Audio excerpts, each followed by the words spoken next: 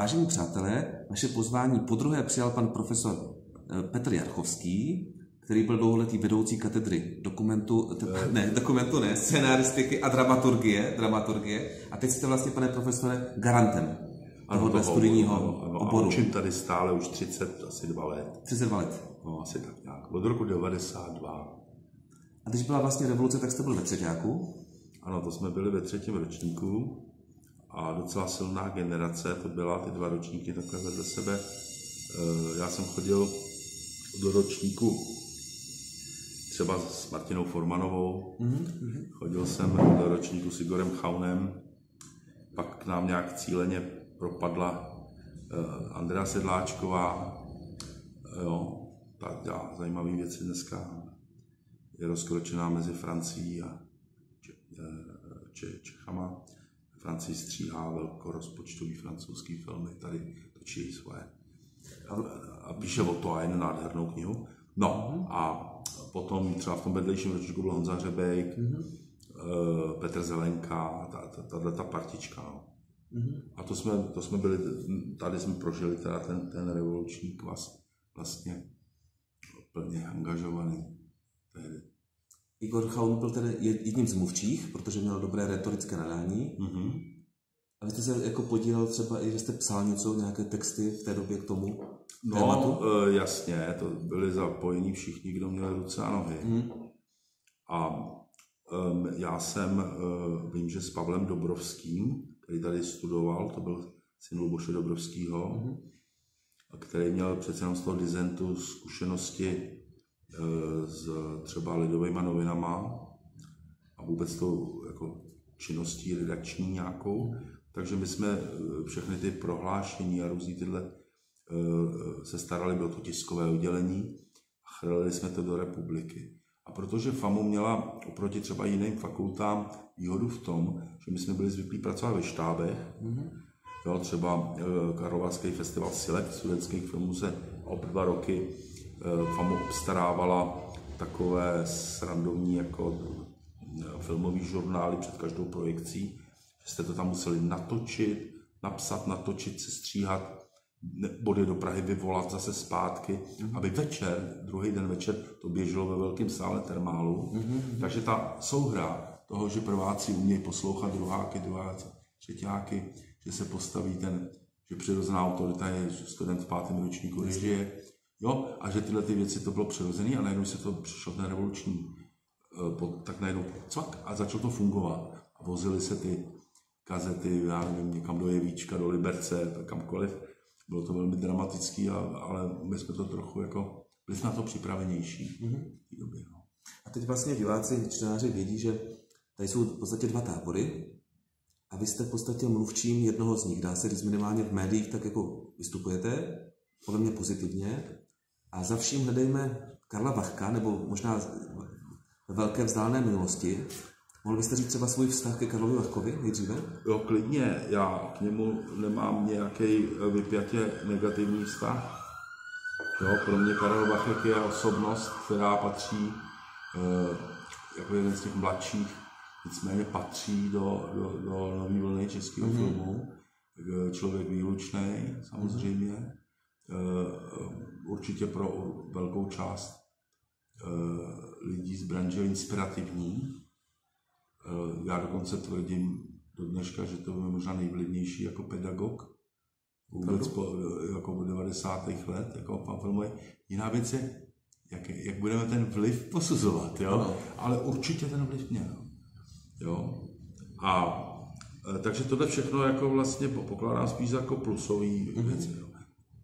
Ale e, jako já si myslím, že je právě jeho výlučnost a způsob jako e, vystupovat jako provokující osobnost, která je v těch filmech, je to pro mě třeba už jako opravdu nadmíru e, narcisistní. Mm-hmm. Jo. E, ta, ten jeho způsob jako provokace nějaké, ale jeho cesta v pohodě, tak vlastně on, on kolem sebe vytvářel e, jistý, jistý okruh následovníků, což na uměleckou školu patří, si myslím, může to mít i takový jako přínosný, podvratný, provokující eh, efekt, mm-hmm. ale ze své podstaty umělecká škola je prostě akademie, kam se by měly vejít všechny možné způsoby uchopování látek a reality, všechny žánry, všechny způsoby. A jeden z nich může být tento způsob. A velký problém je, když něco, kde, eh, co, se, co, se, co je založeno na eh, konfrontaci, rozdělování určitého typu provokace, dokonce jako i vylučování, že něco jakoby nepatří někam, někdo prostě filmem nepřemýšlí, zatímco jiný přemýšlí. Jo? A tohleto. A angažovanosti, jo, i směřování. No tak to v momentě, kdy se to stane dominantním, tak to má v sobě prostě nějaký totalitní šmak. A on se snažil ovládnout famu? Já si myslím, že on ne. Mm-hmm. Myslím si, že on eh, se snažil být guru. Mm-hmm. Jo? Mm-hmm. Což se mu podařilo. Ale ty eh, kolem, ty orbit, lidi z orbitu, zdaleka nebyli tak jako vybaveni jako ten Vachek. Jo? A takže těm mnohým zbyla jenom touha po pozici a, jo, e, a protože si ji nebyli schopni, což i ta soutěživost v tom, v té branži, jo, tak existuje. Ale když si nebyli schopni jako vyboxovat tam, tak jediný prostředí, kde toho mohli dosáhnout, je ta instituce školní. Takový skleníček, takový pařníček. Jako. Tam se ještě ne, jako ne, eh, to není ještě na ostro. Aspoň to svět kolem nevnímá. No a tady, to znamená, tito, uh, tito kolegové po dobu těch mnoha let, uh, prostě tady se byli dostatečně zvýznamněni, měli tady toho svého významného, uh, on určitě nebyl vůdce, ale uh, o, o jehož majestát se opírali, No a zabírali mozen, mocenský pozice. No. Byl to Sokrates? Takový typus, nebo to ne? Hele, to bych kecal, protože já jsem na jeho semináři byl možná jednou, mm-hmm. zatímco tady mám kolegy oddaný, kteří tam byli třeba 150krát a psali o něm, desert, eh, psali o něm eh, bakalářské práce. Mm-hmm. Si ho zbožňovali. A, a pak jsem byl na eh, jedný nebo dvou jeho, že si nás, jako mě pozval, ještě s Martinem třeba Mejstříkem, aby jsme po mnoha letech hodnotili jako revoluce versus současnost, čeho jsme dosáhli a čeho nedosáhli. Jo, jistě zajímavý. Bylo uh, jako to téma a tohle. Ale pamatuju si, že, že, že jsem měl uh, oba s tím mejstříkem a každý jsme fakt jiný a uh, fakt spolu netrávíme dneska, že bychom si nějak rozuměli, ale byli jsme oba měli pocit, že míra jako adoro, adorace a přitakávání toho publika panu uh, profesoru nebo no, Karlu Vachkovi byla taková jako až zvláštní. Jo? Míra, jo, jako když on třeba řekl nějaký kritický názor, nebo šlech, na co jsme byli připraveni, tak najednou tam bylo ano, ano, no, výborně. Ah. Barovná světilka si blikal, ale to, tím ho nechci vůbec jako nějak srážet. Jo? To, to, to není jeho problém, to je problém toho publika po ovoci poznáte je? Má dobré studenty? No, já si myslím, že bych uh, určitě kecal, kdyby, kdybych je tam, kdyby se tam nenašli. Já ten dokumentární film zase tak intenzivně ne, nesleduju, omlouvám se, ale určitě tam nějaká jména jsou, ono opravdu ten uh, jako vliv i na tu metodu, jak jako točit filmy, jo. Um, jako jí zpřítomně, ty následovníci jí využívali, jo. Můžu třeba vzpomenout Víta Klusáka, Filipa Remundu, jo, tato generace. Byli tam lidi, kteří třeba odlevitovali do hraného filmu. Úspěšně Robert Sedláček, jo. Mm-hmm. jo. E, určitě jo. Zvlášť bych řekl, že v té první generaci, když se, když se tady Karel jako objevil jako pedagog mm-hmm. a opravdu vzrušující alternativa vůči takovým některým zkostnatělým starým barandovským pardálům, jo Jo, jo, tak to bylo velmi osvěžující. A ta první generace to určitě nesla své plody. Jo. Ale pak si taky myslím, že tam byla spoustu lidí, jak říkám, na orbitu a orbitu orbitu, kteří se na tomhle prostě svezli a jediná jejich možnost jako je zastávat nějaký ideologický stanoviska a bojovat o pozice uvnitř instituce, no. což je ve výsledku teda velmi nezdravý efekt. A potom se dostali i do médií hodně, že jo? Policie to šetřila, ty kauzy kolem děkanky, už teď bývalé Andrej Slovákové. Oni odposlouchávali i přímo vás? Bylo to takhle. Eh, policejním šetřením se zjistilo, nebo prostě potvrdilo to policejní mm. šetření, to trvá hodně dlouho, až do dneška vlastně trvá, mm. že e, z určité adresy za hranicema e, se ně, e, nějaký he, byl he, podniknut hackerský útok na schránku jednoho mého e, kolegy, mm-hmm. vedoucího katedry a garanta. Ano.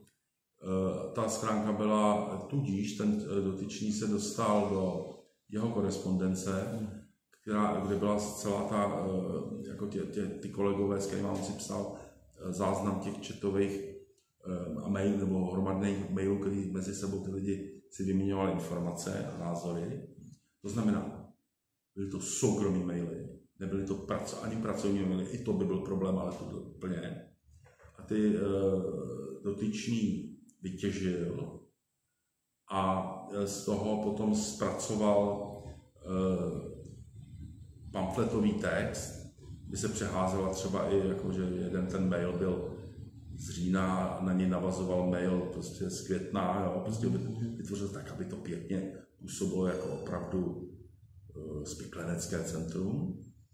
A to uh, student Jiřinec z dokumentu prostě umístil na Facebook a e, tím pádem nastala prostě velký skandál a jakože tady opravdu je nějaké spiklenecké centrum, který usiluje o sesazení prostě současně zvoleného vedení. No, spiklenecké centrum. E, v to, mezi těma 20 pedagogama v jejich adrese to týkalo, až famuje malá škola, jo. Ano tak vši, většina vedoucích katedr, v té době to bylo prostě třeba 9 ku 2, byli, to, těch se to týkalo, to mhm. napadení těch schránek. Jo, takže jaký jako spiklenecký centrum. Jo. Prostě pá, lidi prostě viděli, jak se tady dějou, dějou uh, z, divný, zvláštní znepokojení věci. Mm-hmm. Na to naprosto uh, řádným způsobem ze zákona a z místních předpisů vyplývajícím způsobem informovali vedení školy formou textů, jako mm. podepsaných řádně, všem se všemi tituly a jak to má být, mm. tak jaké spiklenecké centrum. A ty, ty dokumenty byly přehlíženy, rozmělňovány, zametány pod koberec.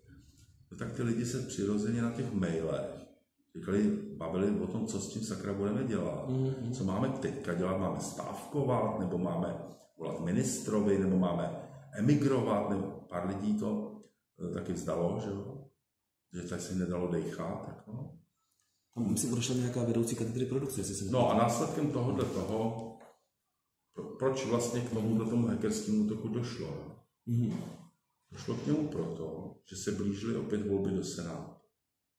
Ten náš vysokoškolský zákon, zákon je tak pitomý, opravdu pitomý a nebezpečný, že e, způsob vlastně zprávy té instituce, té školy e, ovládá prostě akademický senát úplně jako mm, dominantním způsobem.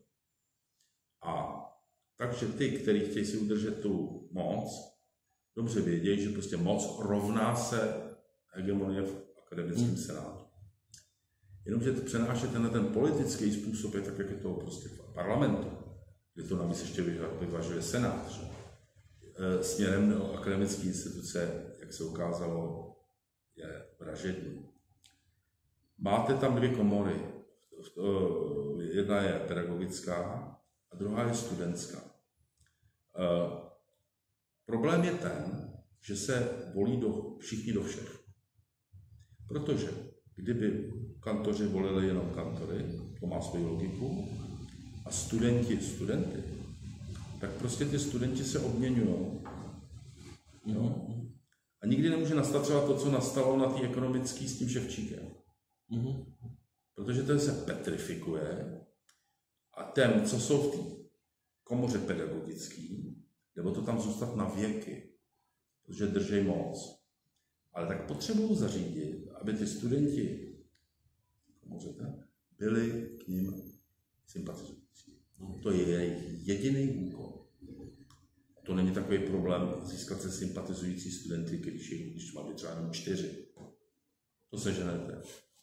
Vždycky. Vždycky. I kdybyste si vymyslel, že já nevím, jsou, mají být všichni šmoulové, tak modrý, tak prostě ty se ženete, ty čtyři šmoulové vždycky. No a je to vyřízeno. Už nemusí dělat nic.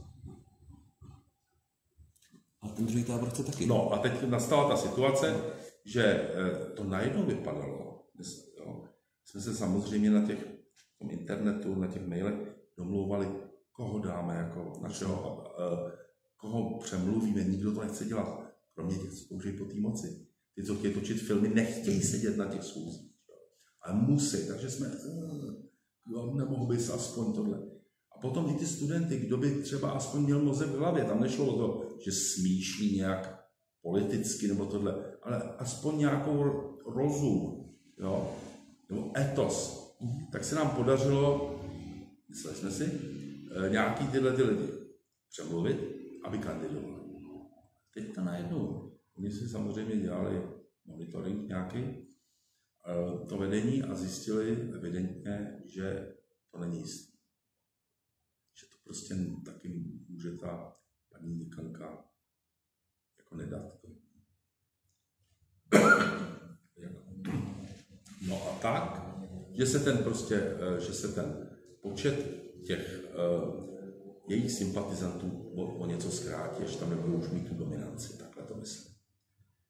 První akt byl ten, že rovnou na, uh, paní děkanka napadla průběh těch voleb. A to proto, že se doslechla, že jedna členka komise by snad mohla uh, možná užít alkohol. A na, na, tam seděli ty studenti a ty pedagogové v té komisi. Tam naběhla s tom, jak má policajti. Jo? A dala všem dechnout, nikdo nic nadechal. Včetně této kolegyně. Prostě to byl uh, naprostý atak. Jako, mimochodem tohle si smíte dovolit jenom povolením rektora. Mm-hmm. Jo, což ona neudělala. Takže to nevyšlo. A za asi čtyři dny po tomhle nevy, nevyšlém prvním ataku pro zrušení voleb, který byly v běhu, byl najednou uh, od někud neznámý pachatel, udělal hackerský útok, aby udělal z devíti vedoucích katedr spiklenské centrum. Tak prosím vás. No. Policie to vyšetřuje, vyšetřovala a patrně to odloží. Protože, ale my, který jsme podali to trestní oznámení, jsme měli k dispozici, nebo máme ten uh, celý ten spis, který je opravdu důkladná práce té policie. Až mě to překvapilo. Fakt na to makali. To je vidět. Je to strašně těžce přečitelný, že to je tím policejním jazykem. Ale každý, kdo si to přečte, z toho Oni nemůžou ukázat na, na toho vyníka pomlčka vinici. Protože tato, uh, jak jsem říkal, internetová kriminalita se strašně blbě dokazuje. Strašně blbě. Navíc, když třeba, já nevím, Facebook v Americe vám nedá svolení nahlídnout do nějakých, no, tak to prostě Oni třeba říkají, že Interpol se zapojí do, do takových akcí, když to je na 5000 dolarů. Škoda. A jak budete tady vykazovat škodu 5000 dolarů? Hmm je, je váš, váš kredit u studentů 5000 dolarů?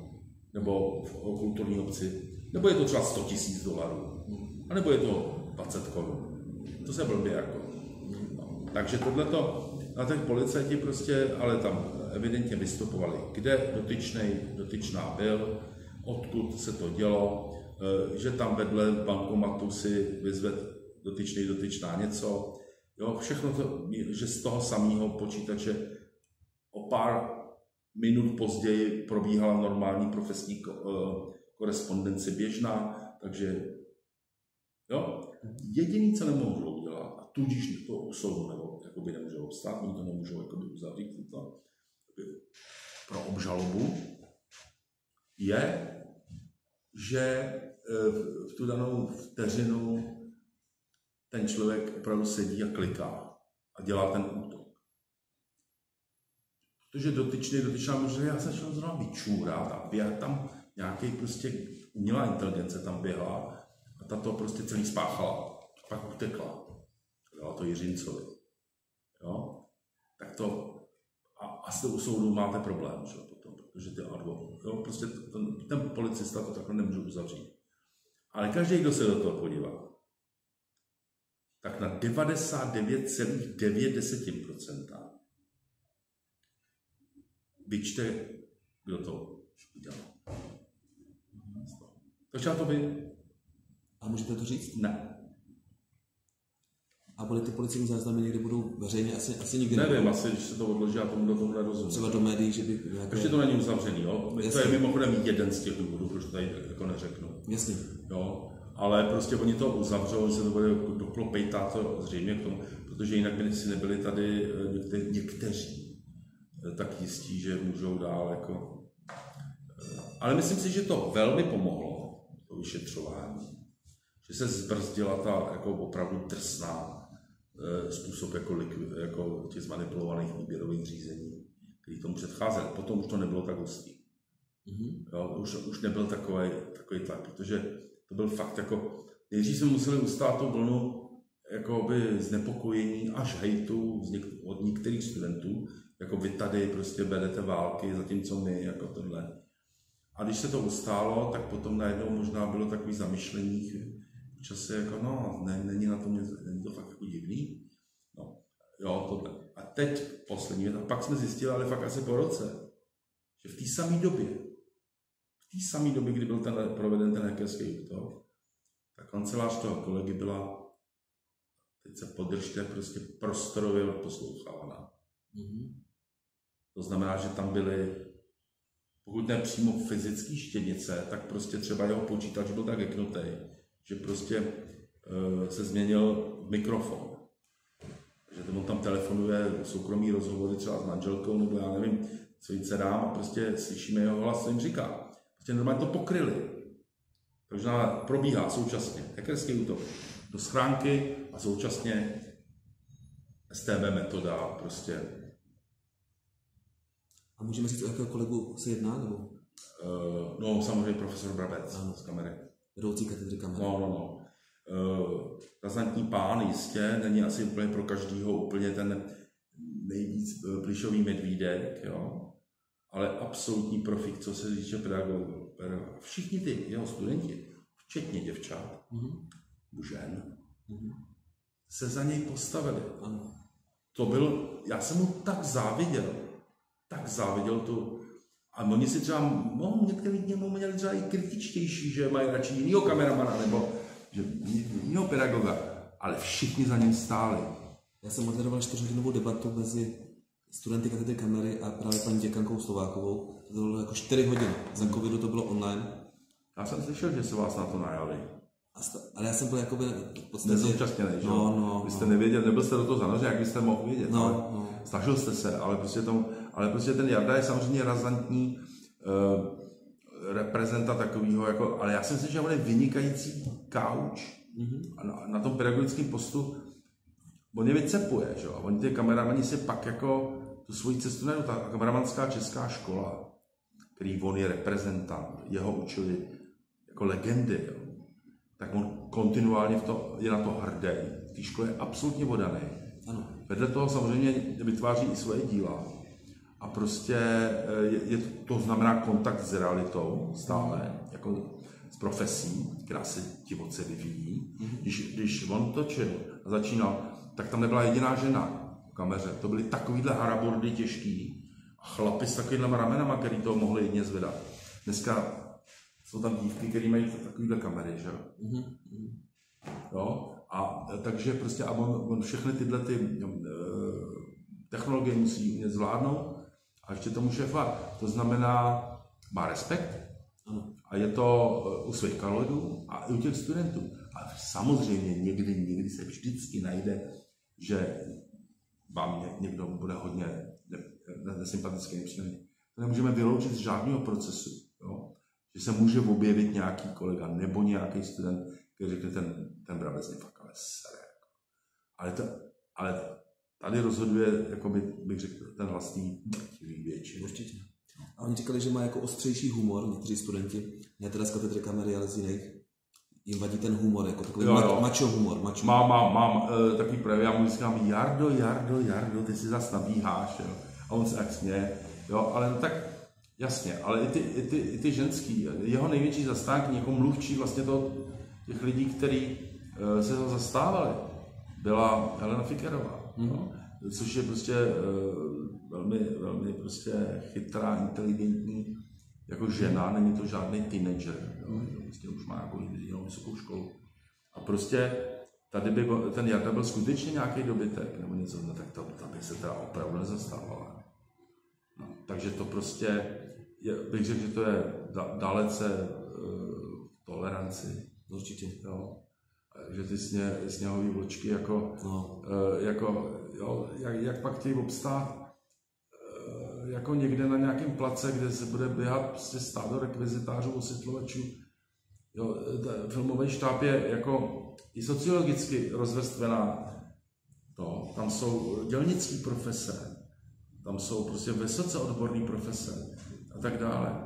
A tam jako, když někdo na někoho jako kejchne, tak jako se sesype, nebo, nebo co bude dělat, bude, bude běžet to někam udat, jako hnedka.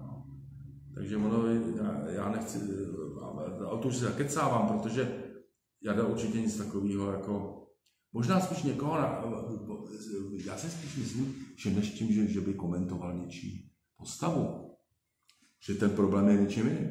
Protože tam někdo přijde, ehm, já zase jsem něco ne, ne, jako nenapsal, nebo ještě to nemám, a, jo, nebo jsem něco prošvih a tam, tam na, na rozdíl od nás tam tečou scenaristiky, myslím, tam tečou reální prachy v reálném čase. Jo? Hmm. Takže to přestává být legrace. A ono, ono, ono třeba spadne. Jo? A z jako trenér uh, já nevím, volejbalového týmu říká. Jo? Mm. Řekne to slovo třeba ano. nějaký, ano. protože jste to no, jo, jo, co budeme dělat. Jo? No a někdo jsou. Mám tě. Řekl si tohle slovo. Jo? Jsme jako opravdu. No. Jsou drobnosti. No. A pak jim tam vadilo nějak to pravidlo, že, že musí natáčet se studentem katedry kamery vždycky nějaký ročník, který je, myslím, pod ním, jestli to říkám dobře, že, jako, ano. že tam je nějaké přesné pravidlo, že to už jako rigidní, zastaralé a že chtěli si točit podle sebe, jak chtěli sami. On je totiž, eh, tady se to velice rozvolnilo, před, eh, tady existuje systém cvičení. Mm-hmm. No. A protože ty cvičení něco stojí, mm. tak eh, je efektní nebo efektivní aby byly odsortírované v náročnosti. Jo? Že když, se, když jste třeba prvního ročníku, tak točíte něco velmi levného, protože chcete jenom ukázat, že jste se naučil třeba určitou střihovou návaznost. Jo? Mm. Nebo střídání objektivů pro střihátor. E, tak to nemůže stát prostě půl milionu. Že? Ta sranda. Jo, a potom, jak se učíte dál, tak jdete do složitějších struktur, je tam víc lidí zaangažovaných do toho, je tam větší rozpočet. Některé ty cvičení měly jako uměleckou tím pádem ambici. Jmenovalo se to třeba reálovka, jo? kde se točí v reále. Mm-hmm. Tam už je velký štáb, počasí, noci, dny, vás se několik dní se to točí a stojí to větší peníze. A tím se jakoby absolvuje a tam byla nasměrovaná i ta ambice mm-hmm. tím něco říct. Ale kapesníček, který byl o tom, jako natočit detail, jak něco upadne, někdo to zvedne, jo, podá dívce, ona se ukloní. No tak to bylo jenom o to, aby to správně pochopil, jak kam má postavit kameru, když to točí. Když to, tady se pak jako ten náraz toho Zdeňka Holího předtím byl hlavně na to, že pochopil, ačkoliv byl taky eh, vědec, tohle umělá jako hranice, kterou mezi nás někdo chce stavět, že eh, když někdo řekl, že v prváku Genius může natočit něco za 50 do půl milionu, nebo já nevím, nebo za tolik natáčecích dní, tak kde pak vemou ty prostředky na ty skutečně jako absolventské filmy. Jo? A tam na, nastal chaos a někteří lidi ve víru chaosu se jim dobře přežívá. Jo? A ten Zdenek se snažil to zase zpátky aspoň narovnat do toho, že se plní termíny, že když já ne, e, nesplním svůj termín, tak můj kolega nemůže absolvovat. Nebude mít to se, jako střihač, nebude mít materiál na to, aby absolvoval tím filmem. Kameraman nebude mít, jo. A to znamená, a z tohohle toho, co tady se snažím tak dlouze vidět, tak z toho vyplývá i ta potřeba, že třeba, když jsem režisér e, dokumentu nebo hraného filmu, třeba ve třetíku, nebo ve druháku, tak ten zkušený má být ten kameraman. Jo, o, o rok. Jo, Už je zkušenější. No, jo, může se samozřejmě někdo říkat, a tadyhle v prváku už je někdo, kdo je tak zkušený jako ten v páťáku. Může se stát, ale když jste na instituci, tak přece jenom nějaký druh pravidla musí fungovat, jinak se to rozpadne. Jo? Takže já si spíš myslím, že to byla, eh, že vlastně můžete udělat výjimku, ale pak najednou začali žádat o výjimku všichni. No. A v tu chvíli ten systém přestává, začíná kolabovat. K tomu se snažil Zdeněk jako holí zabránit. jo. A dostal strašně počuně. Že? Samozřejmě dělal chyby, některé věci neměl udělat třeba na začátku tak okatě nebo razantně, ale určitě to nebylo vedený eh, jakoby sporem názorovým nebo ideologickým. On byl v podstatě jeden z nich. Já jsem ho nevolil třeba. A z toho druhého tábora. Myslím, jako, já, eh, ne, z nich, jako myslím, teoretick, Jo, takhle. absolventů filozofických fakult, jo. Uh, nikoliv jako filmařů z profese. Mm-hmm. Jo, takže já jsem mu moc nedůvěřoval, říkal jsem si, bylo by lepší, by to byl třeba někdy nějaký eh, jako manažer, co má, co dělal ve filmu, v televizi. Jo. Ale dobře, stal se děkanem, byl konec konců spíš jejich děkan, než těch. Ale, ale pochopil, že ta instituce má nějakou logiku jako, a, snažil se to nějak dát do pořádku.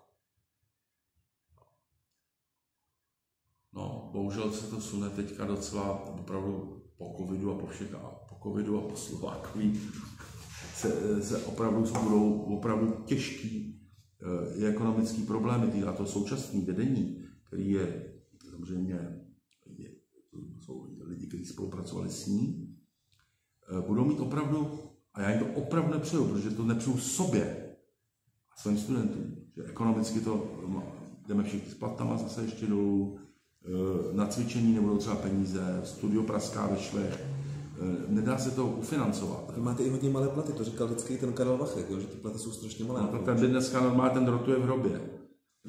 Protože normálně ten, celý výsledek, že jdeme ještě níž. Ještě níž. No jasně. Jasně. Teďka bylo kolegium, jak jsme se dozvěděli. Kolegium děkana. No, no. Kde, kde nám to teda s smutkem říkají, že nebudou odměny. Tak, ale pozor, to jsou odměny jako, jako legrační. Jo, ono to vypadá, když filmaři si ne, Já vím, že ne. ne, opravdu ne. Věřte tomu, moje žena třeba dělá, dělá leta, taky 30 let eh, s eh, Kolarově ústavu s postiženýma studentama střední školy, jo, to je taková speciální škola. Um, učitelku keramiky, jo, je to velmi náročný, protože tam má, je to ta inkluze, takže má tam jedno autistu, jedno nevidí, nevidícího, jedno na vozejku, opravdu unikající teda taky způsob, jak eh, komplikovat tu práci, ale to, to sem nepatří. No a ona dneska bere jako výr, výrazně víc, jako běžná učitelka, teda speciální pedagožka, než jako profesor řádné vysoké školy. Tak to je. Já to vím. A tam se to nějak strašně vyhrotilo. To bylo v těch hospodářských novinách, že, jo, že Andrea Slováková musela odevzdat notebook, ale ten předtím byl naformátovaný, takže se tam nic nenašlo. A oni tam nějak, ty novináři psali o nějakém snad jejím milenci Slovákovi, který ta IP adresa, nějaký penzion tam byl blízko místa jeho bydliště, pokud si to teda pamatuju dobře, ten článek. Ano, ano. Že to by bylo fakt na druhou řadu pozadí událostí. Já vím, že vy jste to jako nepsal tady o FAMu, ale bylo to prorocké ve smyslu té woke ideologie. No to, Která se až ještě mě to zhoršila. zaskočilo, No. protože ani já jsem nechtěl být prorokem. Jako. fakt nějaký prorok, to, to, to, to bylo já, si, takhle, já si myslím, že tam trochu, eh, nebo významným přispěním byl ten Michal Sikora, co psal Mhm, tu, ano, jako tu, předlohu. takovou. jako by takovej, on psal taky námět, jako Ano, rozepsaný, ano, jo. ano. A že on, on si tam eh, na, na, na, na té svý alma mater v tom Olomouci jako taky jako e, vyžíral nějaký věci, možná dřív, než jsem to já pořídil, po- pocitil tady, jo. Třeba nějaký takový to, jak to, že akademik, který má učit povážnou literaturu, píše si o volném čase detektivky a ještě s erotickou tematikou. Mhm. No tak to prostě dostával strašnou čočku. A on si to tam jako, on stvořil to monstrum tam té děkanky. To v té době tady vůbec děkanka nebyla na té škole, když jsem to začal psát. Vy jste mi řekl, že vlastně tady ta díkanka v té předloze byla vraždící dokonce. Byla dokonce vraždící, no to by mě tady, opravdu to by bylo, to by bylo čoro moro. Byla vraždící monstrum, já jsem mu říkal, Michale, jsme v reálném světě. Jo. Já to, to prostě, pojďme z ní udělat ženskou, která má skoro ve všem pravdu, co říká. Jo, myslím, co se týče těch feministických jako postojů, o ochrany prostě eh, práv ženy a já co, a bezpečné prostředí a tohle, že má pravdu, ale dělá to těma nejblbějšíma metodama, co může. Obklopí se kariéristickýma hajzlama a tak dále. A zkrachuje proto. Jo. Bohužel takhle to jistá část e, přijímatelů ne, ne, nechtěla vidět a viděla v tom jako stárnoucího heterosexuálního, spuchlého, odepsaného. Oni byli k vám velice hulváčtí, to si pamatuju. Mm, Až snad vulgárně nebo takhle vám tam. ale tak to jo. Ale tak to jsme vydechali nějak, jako máte kamarády, který, s kterými to proberete, abyste se z toho ne, jako nevytočil nebo nezačal dělat pro nějaké blbosti. Já proto nejsem na žádném jako sociální síti, Mhm. a abych pak někde stranej ne, nepsal nějaký polské ráno si nerval hlavu eh, vlasy. A eh, jako u některých lidí mě to nepřekvapuje. Jo? Ne, nepřekvapí mě. Některý ale momenty mě opravdu překvapily, které jsou si jako podle mě signifikantní. Například to, že kritiku, recenzi na nějaký jako dílo podepíše kolektiv autorů. Mhm. Ty bláho. To, to musím říct, že i ty největší popravčí, jako z dřívějška, třeba já nevím, Rejžek, když po mně šel, Jasně. tak se napíše Jan Rejžek. Nebo když napsal kritiku Vladimír Jus, tak se podepsal celým jménem. A ne, že tam vyjmenoval příbuzenstvo. jako, protože mě to něco teda připomíná. Jo? Oni to teda strašně vždycky, když to člověk jako přirovnává k nějakým totalitním časům, tak je to nesrovnatelné. A protože tohle je svoboda, tam to nebyla svoboda, ale je to divný, taky aktivistický, jako pojďme všichni v jedné řadě Kolektiv. odsoudit tadyhle to, tyhle, tohohle panáčka. Ten panáček už nám do kultury teda náš svůj nos strkat nebude. Takhle to vnímám já a to, to je pro mě jako, ne, jako ne, nesnesitelný jako. Ať si píšou, co chtějí. Jo, kritik je tady o to, aby kritizoval, měl nějaký názor, možná zastával nějaký jako stranický postoj podle svého založení, ale je to jeden proti jako dílu. Tohle to, je... Oni vás prezírali, že, že jste vlastně popisoval famu, což tak není, že ne? Protože ten námět byl mnohem dřív, než tady byla děkanka. Ano, ano. Ale prostě zrovna to, to se tak někdy stane, že, No. že jo.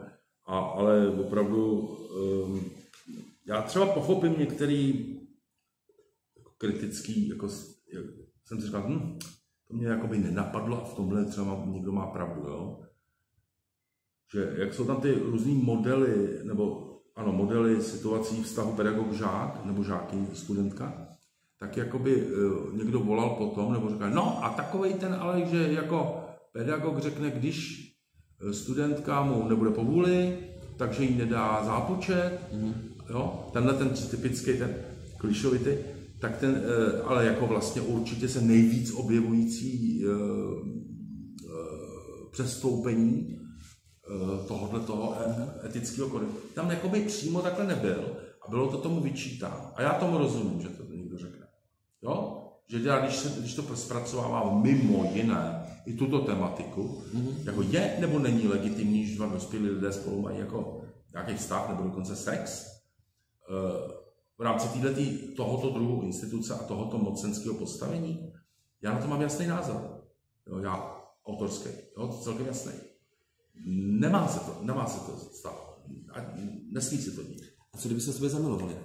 Tak a to je ten problém, který to už je ten druhý, mm-hmm. který tam řešíme, mm-hmm. že to jsou vlastně dva čestní lidi, fajn lidi, snaží se, ale mají problém stejně. A ten, uh, a vlastně nakonec, vlastně lidi, s kterými byste šli na, na, na pivo a kamarádili byste s nimi, rozumíte tomu stavu, jsou si věrní, jo, jsou, jsou, ale ne v rámci té instituce, to nemůžeš dělat. Nemůžeš být vedoucí katedry a tvoje třeba doktorantka, ale studentka, nad kterou máš moc, tím, že podepíšeš nějaký papíry, že ji doporučíš, že jí přiklepneš stipendium, mimochodem tam šlo o prachy taky. Mm-hmm. Taky jste nevěrohodný, i kdyby to byla matka Teresa.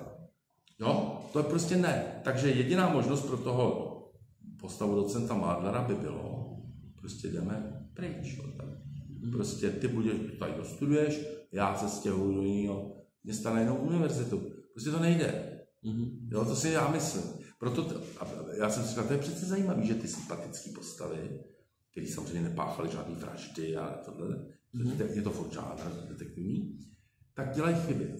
A jsou pochopitelné. A já o těch chybách vyprávím. Chyby prostě, že hm, ne, to neustojíš prostě tohleto. Jak to, že jste jí přiklepnul stipendium? A teď je nejlepší. Kolegové říkají, že je nejlepší. No, ale vy jste jejich šéf. Takže to říká, jo, je prdele. Takže prostě to jsme tam rozpracovali. Mm-hmm. A proto jsem to jako, jako a říkal jsem si, a to je zajímavý, než jako kliše zlý, mm-hmm. sliský, vilný, mm-hmm. jo, pedagog. Ano, jo. ano. A oni to chtějí ten svět vidět takhle, ale já jsem dramatický umělec mm-hmm. a hledám si to zajímavý, to povotočený, to stěžuju si ten soud, že život je složitý. Jo. No, tak o to to šlo, ale to, že to pak končí, oni se podívali na první díl patrně, no. jo, kde to rozjede člověk tyhle ty témata, ale vůbec, jo, vlastně, nebo nechtěli spíš vidět, že to končí absolutně jako tak, jak by si oni mohli objednat. Tam prostě jde o to, že to zlo plyne od xenofobního, starého, bílého, rasistického šmejda, který jenom proto, že se mu nelíbí, snědá uh, lesbická kolegyně jeho syna, tak je ochotný obětovat život jako kluka, který uh, není pedofilní, ne, není uh, sexuální deviant mm-hmm. a vrah. Jako, že to byla nehoda. A on to sfalšuje tak, aby to vypadalo jako vražda. No prostě to je horor. Jasný. A oni by mohli říct, jako, vykoupili jste se. Ne. Potřebuje ale nás pocnout. To si myslím, já. Nevěrohodnit. Dělat znát prostě uh, paprdy, prostě, který už nemají co říct. Někteří. A velice jako hnusným způsobem. Oni vás ještě podezírali, že teda ten námět byl starší, ale že byste to pak jako přepsal aby to se to na míru právě té famu, té aktuální. Je to pravda nebo ne? Není. Není, a, a, ale e, jako to, to můžu říkat a oni mě to musí věřit. Jo, ale opravdu ta věc vznikala hrozně dlouho. Mm-hmm. Jo, e, hrozně dlouho se scháněl producent. E, vůbec televize, která by to vyrobila, tohle, to znamená, tam, já myslím, že to je 4 až 5 let mm-hmm. od první jako verze. Jo. Fakt. Jo, takže jediný, co bych s tím mohl dělat, byl naopak, kdybych byl oportunista, tak se vyděsit a třeba udělat z postavy děkanky děkana, nebo, nebo nevím. Ale co jsem neudělal, protože ten moc pěkná postava. Ano. Úplně mimochodem energeticky a eh, i eticky a všem jako úplně někdo jiný, než uh, osoby, o kterých se bavíme. Ano, ano. A teď se teda ta situace uklidnila trošku, jak je to policejní vyšetřování? Nebo?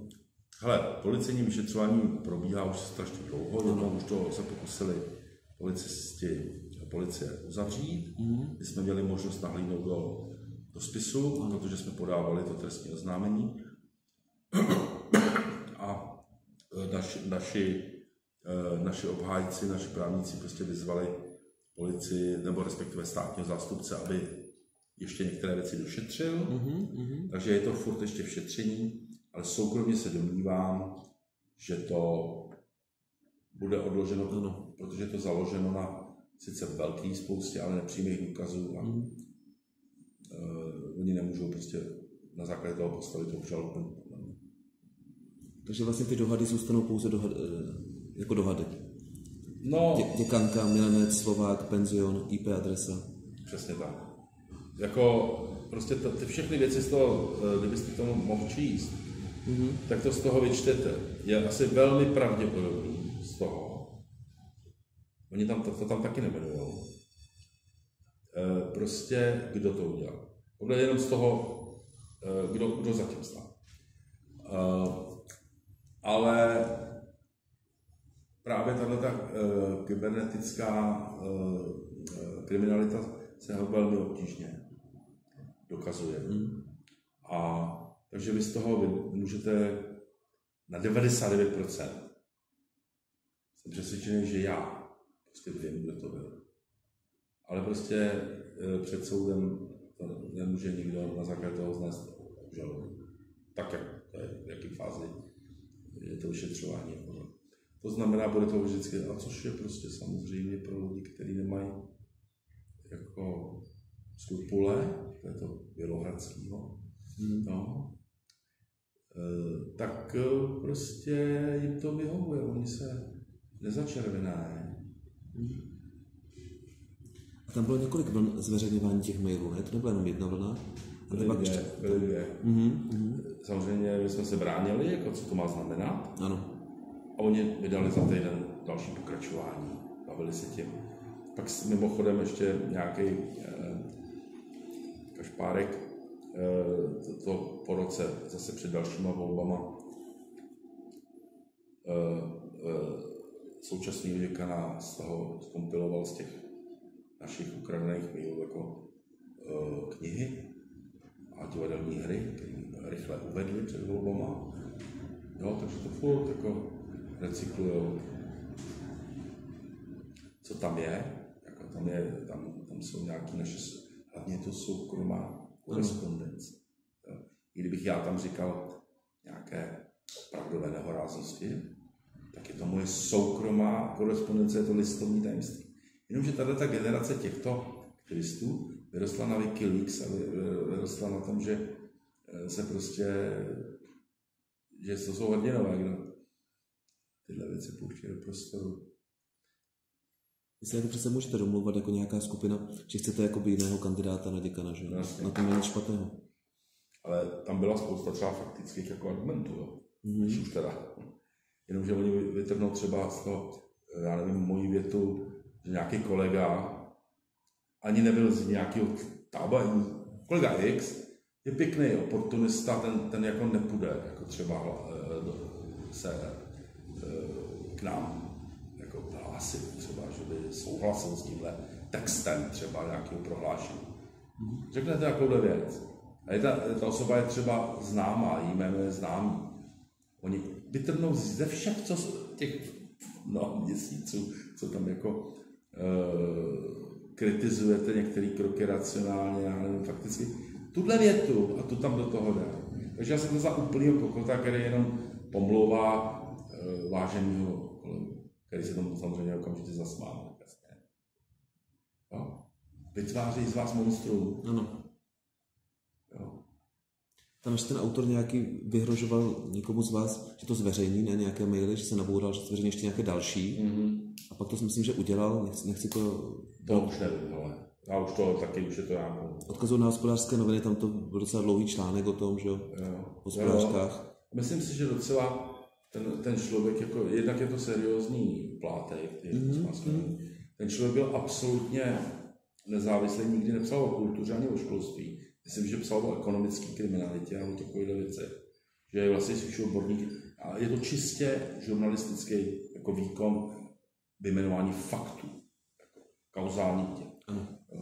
Tak tady samozřejmě byl okamžitě označován za zmanipulovaného, já nevím kdo, nadiktovali. A to odposlouchávání teda bylo jenom toho profesora Brabce, nebo i vás odposlouchávali v pracovně?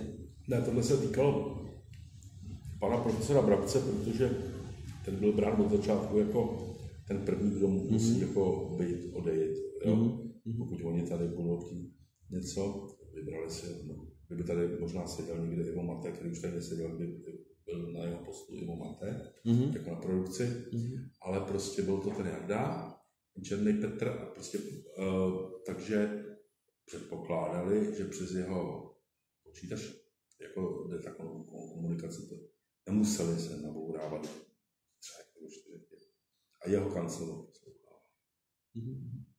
A jak to, že ten tábor zase, ten váš tábor opět prohrál, že je děkanem, děkan, eh, děkanem Čeněk, který je zase z toho tábora Andrej Slovákové.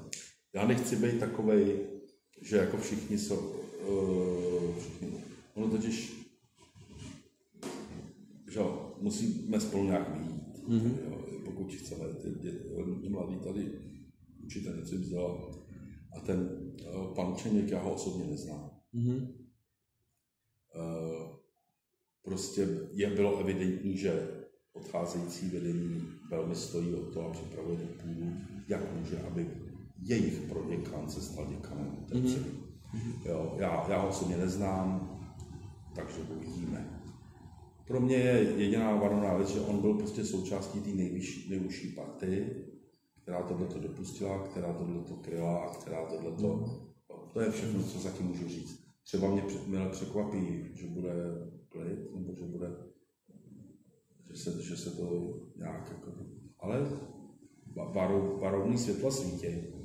Pro mě, já, já se necítím, jako, když oni se furt asi ohání tě bezpečný prostor, safe space, ano, ano. tak jestli já opravdu se někde necítím bezpečně, tak kdyby mě někdo zavolal, jestli se mnou chce někdo promluvit na děkanátu. Mm-hmm. No, prostě já nevím, který mobil tam je zapnutý, kdo mě, kdo mě to co po mně řekne, co... A prostě to, tohleto, tato důvěra, která tady vždycky byla, ano. nějaká, po, od té revoluce se, jako to, že se, dokonce neformálnost, jako, ta teda absolutně zmizela. A já, jako, naštěstí ty studenti se vyměňují rychle.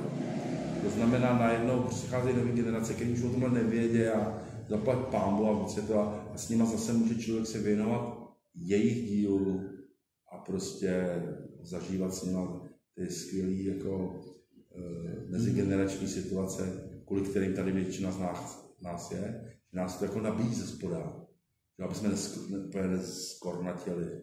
A, a oni si z nás zase berou to, co potřebují. Proč jste vlastně prohráli? Vy jste měli méně těch studentů v akademickém senátu, nebo? No, Oni prostě tímhle tím aktem udělali to, že uh, ta první vlna toho odporu byla, že ty někteří studenti v tom v té komoře se jako velmi ostře obrátili proti těm, co tam někde kůjou pikle. To znamená, jako zareagovali vlastně no. na, na, na, na ten skandál jako uh, tak, jak si přál ten, do toho jako. Mm-hmm. A, ale, a potom taky tam byli dva naši kolegové zvolení, Karla Stojáková z katedry produkce, velmi, ta fakt, to byl skoro svatý člověk. Respektovaná i hodně. No, respektovaná profesně jistě, ona, mm. ona byla třeba odborník na mezinárodní koprodukce, což se produkce mm. dělala se s Koreou, ona měla. A, ale hlavně měla prostě e, neuvěřitelně jako mateřský a takový oddaný přístup té partě tam eh, na té produkci k těm byla schopna pro tu školu jako dechat. A za jejího šéfování se začaly dít jako věci v té spolupráci mezi katedrama. Jo? Tomu šla naproti. A dobře se s ní komunikoval. No. A potom David Kořínek, což je paradox, což je prostě člen výtvarné skupiny Rafani, mm-hmm. což, je, což jsou vlastně takový jako, mm. že jo, mm-hmm. nebo já tohle už sice starší generace, ale byly to ty první jako Jo. A ten e, zase tady ten CAS, e, což je e, katedra, nevím, co to přesně je, prostě nějaký multimédií a takovýchhle jako věcí. A ten se taky dostal do toho senátu. na to oni ne, nemohli, protože to by, to by bylo to přečíslení. Takže pak následoval ten to, že věděl, že tyhle ty dva lidi tam skončí. No a po, po, potom, eh, co se kolem toho rozpoutal ten skandál, ta kampaně jako proti těm lidem, tak ta to nevydržela jako nervově. Ta se sesypala opravdu takhle, to jsou její slova, ne moje. Ta šla, ta šla nervově domů, ona měla jako starosti s dětma, který byli v té době nějak nemocní. Jo? A prostě nevydržela to. Karla Stojáková. Karla Stojáková a prostě odešla z té školy. A David Kořínek, který bych řekl, že teda, když je takovýhle aktivista, tak by mohl taky leco vydržet. Tak Mít kořínek. Mohl by mít kořínek. kořínek. Ale zase ho chápu, že on tak odešel a během dvou dnů měl stejný dobrý místo na jiné univerzitě, protože to byl opravdu kluk, který, no chlapík, který e, prošel několika akademickými institucemi, jo? docent prostě. Jo, takže ten, já nevím, kde, já ne, dostal jako někde v Ústí, nebo já nevím, kde, či, Jo, ale tam tyhle dva vážený pedagogy jsme přišli, šéfy katedry, a oni pod nima byli ty dal, další loajální, to docvakali a od té doby. Tam mají převahu. No, jasně. Když budou nové volby do akademického senátu, tam to třeba se otočí. Třeba, ale třeba jo. Nebo to bude postupná evoluce, nějak celý eroduje. Nebo, nebo já nevím, co se s touto institucí, no, snad zůstane stát, aspoň škola, no. Já se jenom obávám, že to nakonec z FAMu jako studia filmu, jako udělají ten film, nebyl takzvaná film studies. Mm-hmm. Jo? Budeme o tom tak jako povídat. Jo, jo, jo. Filmová věda taková jednodušší. No, no, taková, jakože vlastně teoretizujeme o něčem, co už se na to nešáhne, že? Ano. Ale, no. A když vlastně ten kompilát z těch mailů vás jako demonizoval, tak měl jste s tím pak jako problémy, že třeba vás lidi takzvaně hejtili, nebo jak se to neslo psychicky, když z vás udělali tak... hrozně blbě. Ale to, to, to přiznám, jo. Ale musím se snad říct, že jak nejsem na těch sítích, Mm-hmm. jako na Facebooku nebo na, jo, na Twitteru jsem, ale jenom koukám na svou bublinu Jo. kvůli jiným důvodům. Mhm. Jo, třeba válce na Ukrajině. Jo, jasně. A ne tohle. Takže tam mám lidi, kteří mě zajímají jako prostě, já nevím, třeba nějaký vojenský experti třeba, nebo Jasně. novináři. Ale tady, eh, tohle jsem byl střižený a nikdo mi škodolibě eh, nedával svodky, jaký hnůj tam, jako třeba v určitých vlnkách, na mě to, nebo mě to přišlo někde u piva, mě to někdo řekl a zasmáli jsme se tomu. Ale jak to není ten dennodenní přísun, eh, jo, tak, tak já tohle totiž blbě snáším a asi bych se tím trápil. Ale čím jsem se opravdu trápil, bylo, že jsem měl nějakou dobu intenzivní pocit, že eh, že prostě přestávám rozumět mladým lidem. Mm-hmm. O co jim jde a na čem jim záleží a na čem. A to už je naštěstí pryč, protože ty další ročníky, jak přicházely po, po tom, co se tady tohle dělo, eh, jsou strašně jako prima fajn, které mají už úplně třeba jiný témata, eh, než nějaká identitní třeba. Jako ta, a, a prostě je, je, je, jedou svý vážný nový témata, které jsou zase pro ně. A, a o tom jsme mohli zcela otevřeně, můžeme žartovat, jo, můžeme, jo, nemusíme se střást a vysvětlovat každý, každý vtip dopředu. Teď budu, teď budu žartovat, jo. Jo, jo, jasně. Ano. Jo.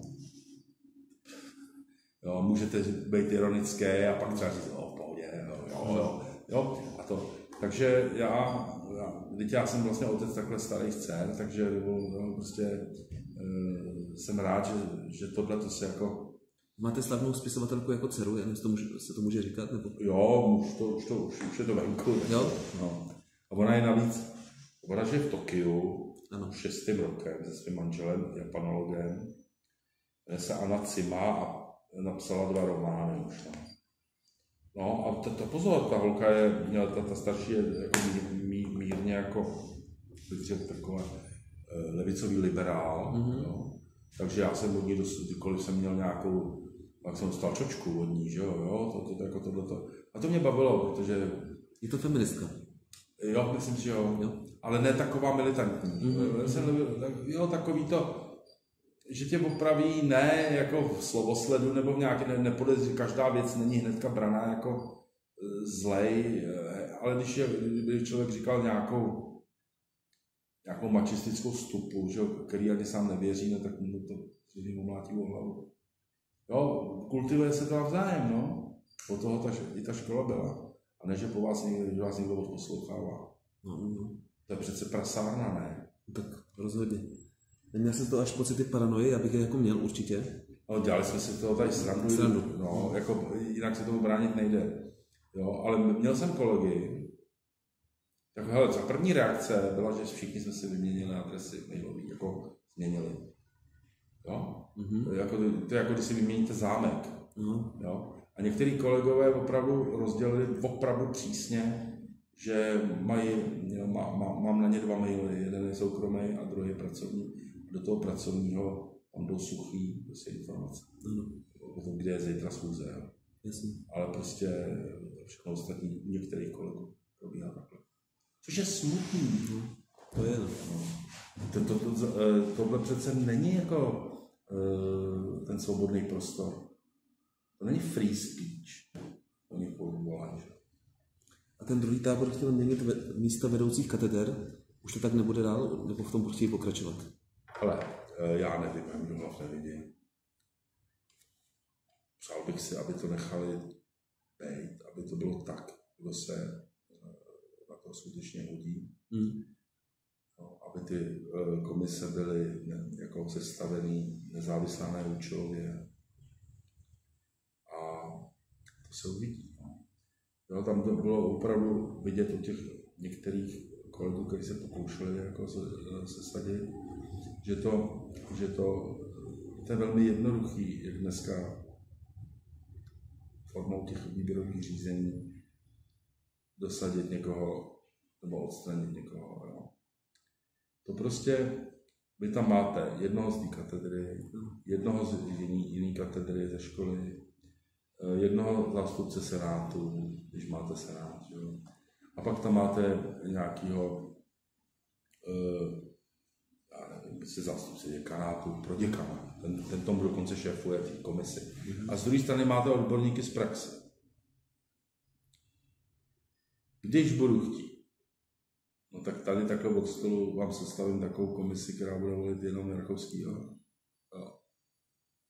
Když budu mít k tomu to moc.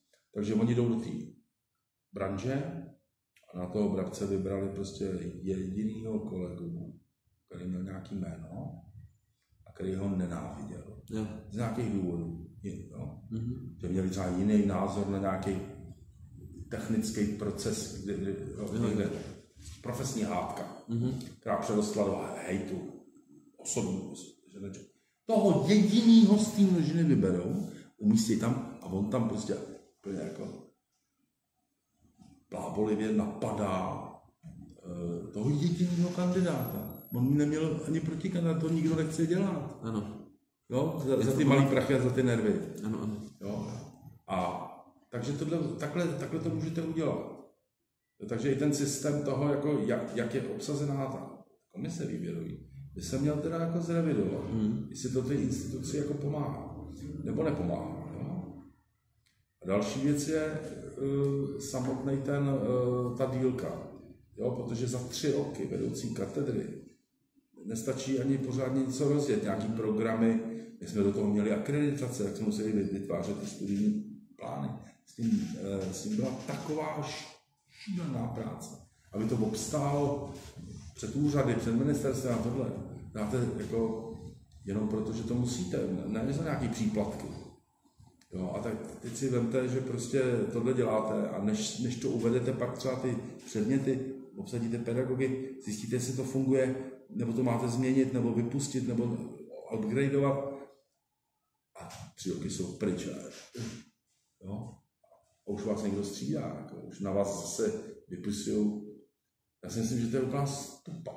Jo? Že by to, jedně v případě, že byste to udělal opravdu nějaký, že by, že by to nešlo vám, Mhm. nebo jste byl nějaký mega průser, tak ty lidi by měli mít delší eh, jako by možnost budovat tu katedru. Že? Určitě. Aspoň pět nebo šest let, že? Ano, přesně tak. No, někdy v té akademické sféře působil, že jste tam taky pracoval. 16 let. Ježíš tak víte, co to No. je jako, jako když se ně, ty věci proměňují, že nějak, jako, nebo snažíte si něco někde. Je tlačení provazu často, že? Co říkáte na, to, na ty masterclass, to prosazovala paní děkanka, mm-hmm. které jsou asi finančně hodně drahé? Ty masterclass, já se samozřejmě, eh, to je její výkladní skříň. Mm-hmm. Kdyby to bylo jenom tohle, takový postavím pomníček, mm-hmm. oslavný. Jo, myslím si, že pan děkan Čeněk v tom uměl jako na, najít některé teda eh, osobnosti opravdu nespochybnitelné, které přijeli na tu tam udělat ty masterclassy a byla ta arena. Hmm. Prostě. Tohle všechna čest. Jenom doplňuji. Tady bylo i předtím. Mm-hmm. Jakmile bylo možné sehnat nějakého tvůrce, který nebude drahý, který to udělá rád, který ho tady ubytuje někde, no tak se to dělalo i předtím. Rozumíte, to není jako, že jen za nich to začalo. Mm-hmm. Jo. Jsem přijeli, jo, e, jako jediný, co jakoby udělali, že třeba přijel nějaký osobnost animovaného filmu, jako hvězda, zapomněl ty to jméno, ale z Ruska, opravdu mm-hmm. tehdy jako super, nějaký úplně. A ten měl jako v rámci té animace masterclass. Mm-hmm. No. A kdo chtěl, tak tam mohl jako zavítat i z jiné katedry. Dneska by to dělali takže to dají na násilníkov, až tam můžou jako všichni do té velké posluchárny, že z toho udělají jako pro celou školu. To je jediný takový twist. No, častokrát se to prostě nedělo pro celou školu, ale třeba pro tu určitou katedru. Jo. Já nevím, jsem, kdyby přijel kariér, tak bude u nás na scénaristice, ale správně by měl být nějaký velký posluchárny, kterou ani nemáme. Jo? No.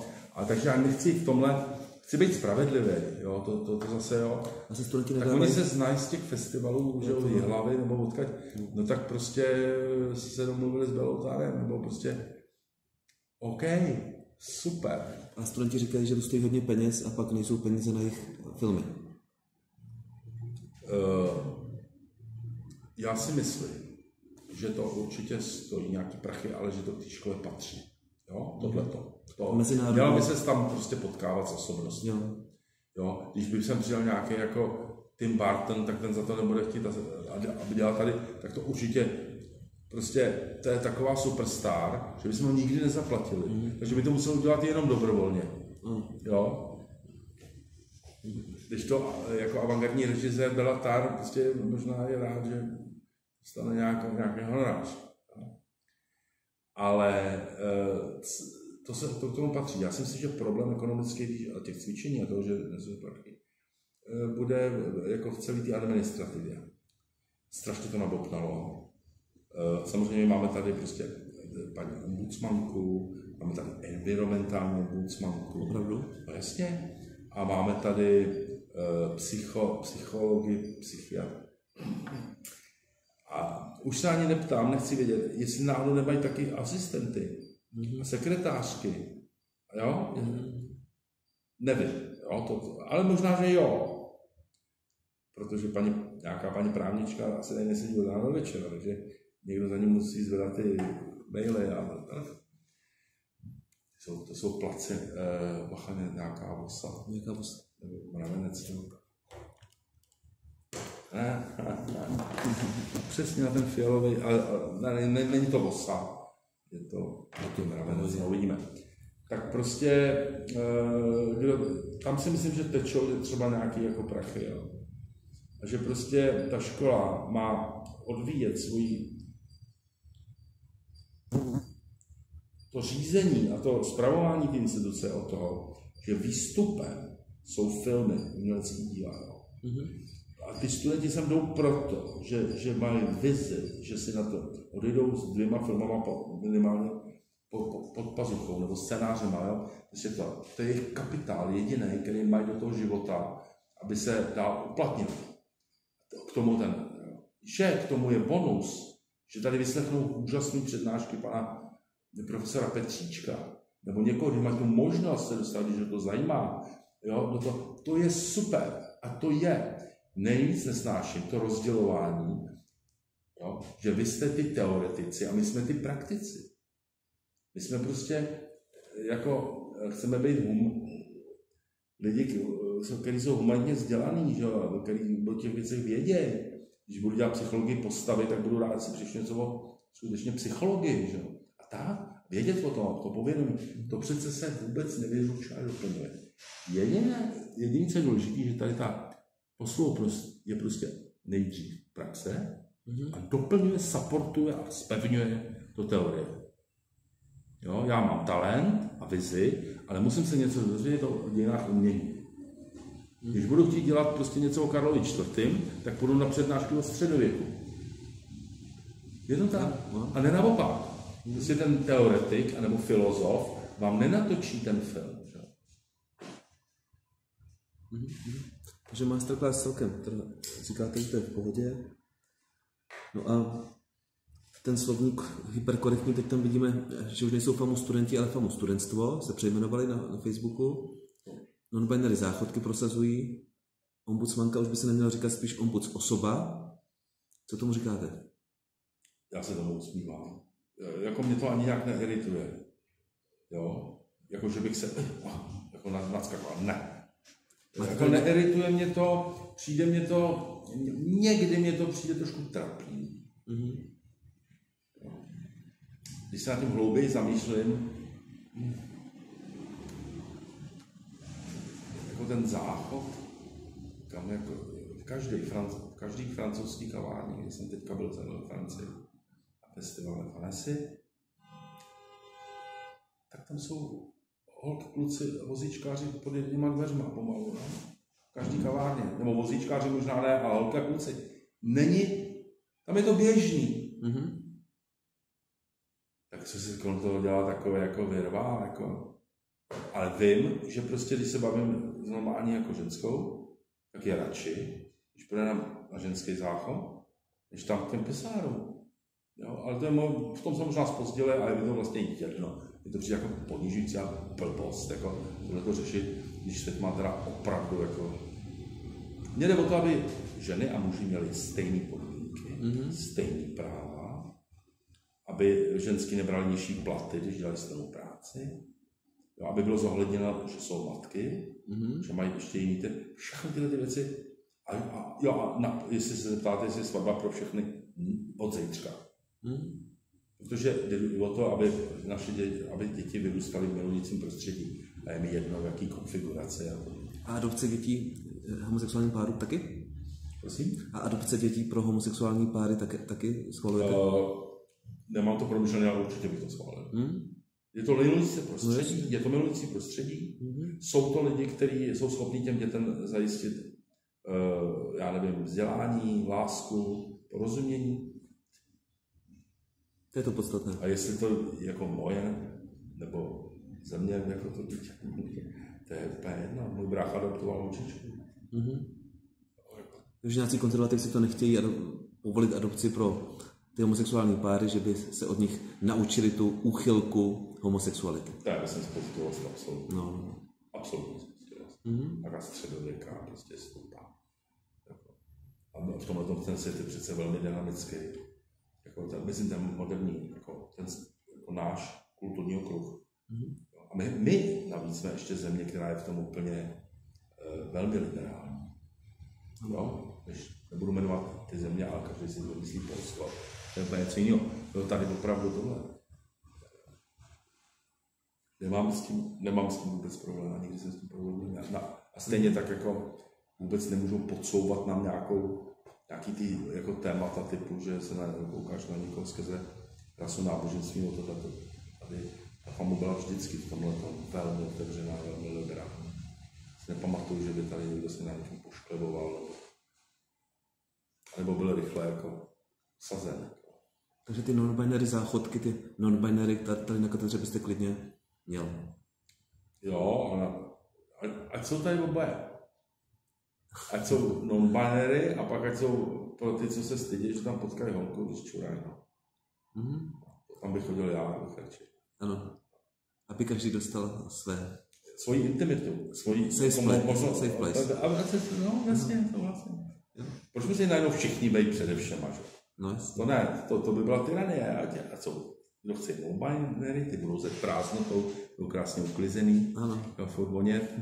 A ty ostatní budou posmrdávat a budou tam ty holky jako Takže budoucnost FAMu vidíte teď jako lépe, že už ty tábory nejsou tak vyhrocené? Ale vidím atmosféru na své katedře. Mm-hmm.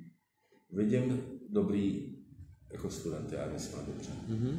Už třetí rok, nebo čtyři rok, třetí rok po sobě, jo, takže to není ale skvělí studenti do, dobře píšou. Některý věci se nevratně změnily. To mě sere. Uh, pardon. To se může. U vás se to může. Ano. Nikdy už se nevrátí některé vztahy mezi kolegami. To je jako zážitek, jako, jako otřesu nějaký, nějakých, změnilo to prostě některé přátelství, jo, změnilo to prostě pohled na, na věci a jak se třeba někdo zachoval v určitou chvíli a tak. A to není to jako nějaký válečný stav, to ne, ale ani není dusno, ale najednou jakoby, eh, aspoň já vzpomínám na tuhle katedru, jsem tady dokonce byl roku 87, jsem studoval pak jsem začal netučit. Jako na prostředí v tom 90. euforii, jako na e, mezigenerační takovou rodinu, ale mm. opravdu rodinu. Jsme spolu jezdili jako kolektiv těch kantorů, starý, mladý, tlustý, tenký, ne, třeba na chalupu. Koupili jsme si pivo a prostě popekli jsme maso, kecali jsme o filmu a o špilentech. Jezdili jsme strašně rádi na soustředění do Poněšice společně a tohle. A něco zmizelo. S některýma lidma už si nedokážu, uh, tak, a oni se mnou, jako tak bavit prostě. Je to trvalé? Já myslím, že tohle je nezměná, nezměná věc. Jo, to není ne, neodpuštění, odpustit můžete, jo. Nebo prostě to by vás teda to někdo musel zažádat, ale, jo, ale, eh, ale jako je, je, tam takový ten mír, jako dobrý, dobrý večer, dobrou noc, nebo ahoj, ale už to není to, pojďme do rána třískat do kytary. Jo, a to, to mě mrzí, to byla ta, ta, ta přidaná uh, jakoby hodnota tohohle toho. Prostě ten rodinný takový amalgám, ten, ten zmizel. Ale na druhou stranu chci říct, že, že se nám podařilo sem získat nám na katedru opravdu dva skvělý posily, já jsem na to strašně šťastný, který opravdu mají eh, za sebou velký dílo, zajímavý a jsou schopní předávat eh, těm mladým lidem. A to jsou dva chlapy v mém věku, to je Ivan Arseněv, který je Eh, který je eh, vynikající scenárista, spolupracuje dramaturg, spolupracuje s Bertrama Feldmanama na tom, na tom divadle, ale vedle toho dělá, eh, píše skvělý scénáře pro hraný dokumentární filmy, třeba s Pokrem slávu, mm-hmm. Míšou Pavlátovou, mm-hmm. jako, jako ESO, mm-hmm. a dru, druhý je Honza Prušinovský. No. Nejlepší. Žák a prostě ten dělá zase. Zas... Vy jste vychoval? Jako... No, já ho měl v ročníku. Já jsem na to pišnej. Jako, že jsem ho tady jako... Že jste byl vedoucí ročníku jeho. Jo, jo. Tak to je vynikající. A, a porozuměli jsme si jako lidsky potom. Měl humor, to je, kdybych psal já vždycky mi přijde. No, on je dobrý. Fakt na hraně až za hranou, ale právě skvěle za hranou. No, on s tím kolečkem spolupracuje. No, no, no, no, no. A, a to, ale tak uvidíme, jestli nám vydrží, jo, chlapi. Mm. A to, to je jako velká posila toho, no to jo. toho manšaftu, jo, tady. A navíc eh, je to takový jako věcný, každý, ty lidi jsou různí, ty na tom dobrý, jo, ale jsou vlastně všichni, to slovo tolerantní je podezřelý, jo, ale e, poslouchaj se, co říká argument, dokážu argumentovat a argumentují směrem k jako e, praktičnosti mm-hmm. těch věcí a ne nějaký animozity, jako tak, tak to mám z toho radost. Ten, ten kolektiv tady, eh, ale prostě něco, něco, něco zůstalo, jakoby, a ono to zmizí, třeba se mnou to zmizí, jo, a ta katedra bude fungovat dál.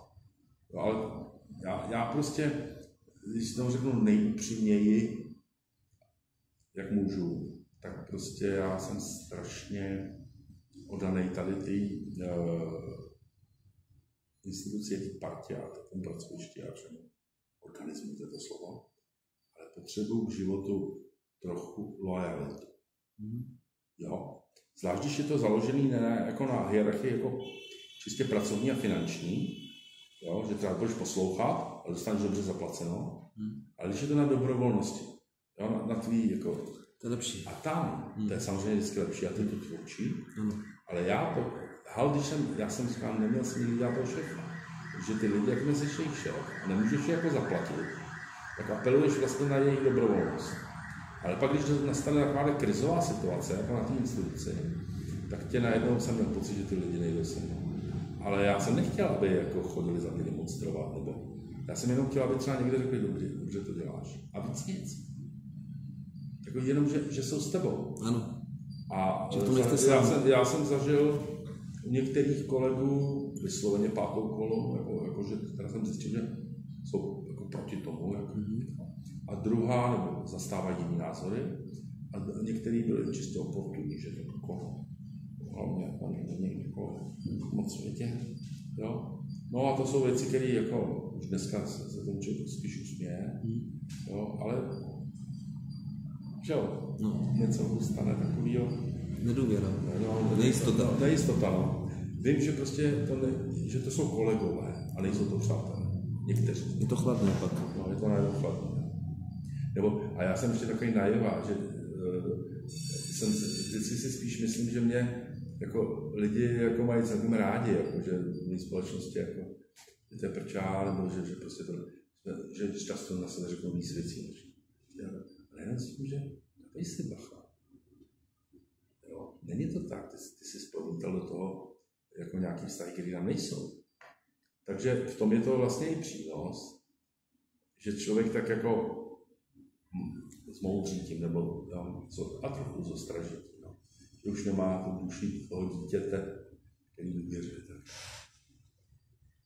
Já jsem slyšel nějaký rozhovor s profesorem Brabcem právě a on tam říkal, že na dokumentu jsou aktivisti. Přijde vám, že největší problém je ten aktivismus na dokumentu pro FAMu? Ale jestli nej... No, no, já... To je taky slovo aktivismus, jo tak jako pokud by šlo o to třeba nekácet sekoje, tak se to přikovat k tomu stromu. Hmm. Nebo, jo, hmm. co je vlastně hmm. hodno aktivity hmm. a jak něčemu, nějaký změny můžu dostat, jakýma postupama, jo, je ten aktivismus. Je to strašně široký pojem, hmm. strašně. Ale ten způsob jakoby kulturního aktivismu, který tady je, e, jsem zacítil, teda je pro mě něčem e, zmířící jako k to stotalitnění, totalitní myšlení. A to, to já, který jsem žil celý život v totalitě do 25 let, na to mám prostě uzí kůži z toho, zvedá se mi z toho kufr a když to mladí lidi jako dělají a inklinují k tomu, tak si pak jako v, v různých snech představu, jak by to vypadalo, kdyby fakt šlo o kejhák. Tohle je sranda je trenažér. To letadlo neletí, to jsme jenom u počítače děláme. To, ale kdyby fakt jako, jo, Pavel Kohout prostě. Nechá, chcete ji nechat žít? Jo, nechci žít. Je to vosička nebo co to je? Ona si nic nedělá. To no, nějaká... ne, to je jenom taková zmatená, tady někdy vypadne nějaký termit. No možná, že to je ta, Štěnice poslouchávací. Já si myslím. Že jo, to by mohla být, no. To už dneska jsou takový malý drony. Ano, biologické. Možná, že eh, to upgradeovali na děkanátě. To ukážu. Já myslím, že jo, to je ono, to je odposlouchávací štěnice. Už, hele, už, už to zvedli, už to zvedli, už to jinam. A zůstává s námi teda. Ano, ano. Takže je tam nějaká jakoby třenice těch kateder, jakoby hlavně ta katedra dokumentu proti těm ostatním katedrám? Dá se to tak říct? Nebo? Ale já si to nemyslím. Ne? Já si spíš myslím, že tam jsou nějaký lidi, kteří umějí s těma eh, studentama pracovat. A že tam je taky samozřejmě spousta úplně skvělých, jako uh, opravdu výborných studentů, a neříkám to z alibismu. Mm-hmm. Jo. A že to naštěstí už jde, jako bych řekl, jako, že už to není tak žavý. Není, nemůže být, se to přežije. Možná i ta postava toho nového děkana Čeňka není tak konfrontační, ne? Není tak já nevím, to možná jako, jsou tam Já jsem zažil pár jako setkání s bývalou paní děkankou A to bylo teda Konfrontace. teflon. Teflon. Teflon, no. Jo, v tom, jak to všechno steče. Mhm. Ten úsměv. A prostě Mhm. nebezpečná paní. A ještě ne, určitě neřekla svým poslední slovo. Možná míří výš. Určitě. Je- je- S její mentální výbavou nemůžete mířit někam třeba meditovat do přírody.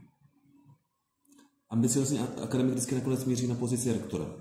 Že víš, jako nemůže, Nebo do politiky. a nebo do politiky ještě. Já třeba mohla být nějakou ombudsmankou. Ministrině školství nebo kultury. No. Jako třeštíková tři dny. No jo, je- jenomže ta- ta to dělala z, z, z idealismu, že ji přemluvili Jo, nějaký jo. kolegové, že jo, prostě jako sympatiáci, nějaký havlové, já nevím kdo. A pak zjistila, že v tomto prostředí fakt není pro ní. Mhm. Jo. Mhm. Což se každému z nás by bývalo kdysi v 90. mohlo stát. Nám nabízeli nějaký funkce studentíkům, prostě úplná klukokracie. Jo. My jsme naštěstí měli takovou sebezáchovu, že jsme, já nevím, a že Řeběkovi nabízeli třeba jako budu student, napsal jeden studentský film nebo dva měl za sebou a mu mi někdo nabízel, aby dělal eh, jako zpravodajství nějakého ředitele zpravodajství české televize. Jako. My jsme ještě říkali, jste se zbláznili. Říkali, nezbláznili, nemáme lidi. Jako. Jo, takže trošku soudnost, že jo. A my jsme se vlastně vůbec nedostali k tomu Petrovi Šabachovi. No to já jsem klidně ještě to, aspoň chvilku, jo, ještě čas je. Ještě pár minut, jestli chcete. Tak já dám, tady ukončíme a dáme další video. Ne, tak dáme Šabacha jindy, tohle bylo fakt dlouhý a to já... Tohle má hodinu bys- 27 minut. No, no, tak je, možná ještě, jestli máte k tomuhle nějakou, Jo, to, tak můžeme to, mm-hmm. a Šabacha na, na, bude vždycky rád, třeba mu věnuju e, nějakou hodinku solovou, někdy třeba za půl roku, jo. Mhm, mhm, jo. mhm. Nebo když bude nějaká příležitost, v září, on myslím, zemřel, tak můžeme to nějaký výročí. jako- nebo za týden. Co? A nebo za týden. No, no, na to já už budu pryč z Prahy. A nebo zítra. Nemám čas. Mhm, jasně, jasně. Takže Petra Šabacha necháme, tam zajímá ten jeho vztah k Hrabalovi, nebo že jim přijde v něčem trochu podobný, jako podobný typus. A vy jste ho znal velice dobře, to byl tak trochu možná váš jakoby otec, to je možná silné slovo. Ne? Tak vy ho chcete teda, A ne, chcete tomu, tomu neměli bychom, ne? To, no, už ne, na to, to ne, bychom se na to, ne, na to nemáme čas. No. Takže, takže dokonč, dokončíme tady tohle. Mě tam pořád zajímá nejvíc ta věc, že oni vlastně z vás trošku fakt udělali v těch kompilátech jako monstrum.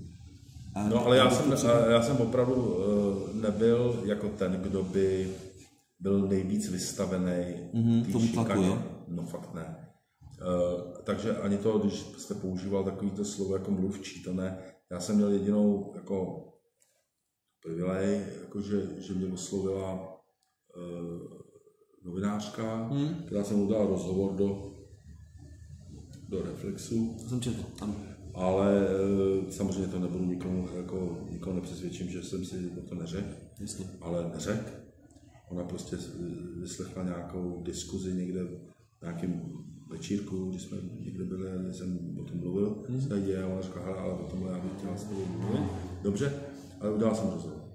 Jo, protože kolega, nevím, když je nejšpičkovější zvukař tady, Mhm. jako má nejlepší studio, tak není ten, ten ksicht, jo, který, o tom, který ho ona by oslovila. A pro společenský časopis, nikoli pro série, jakoby noviny třeba, které se zabývají.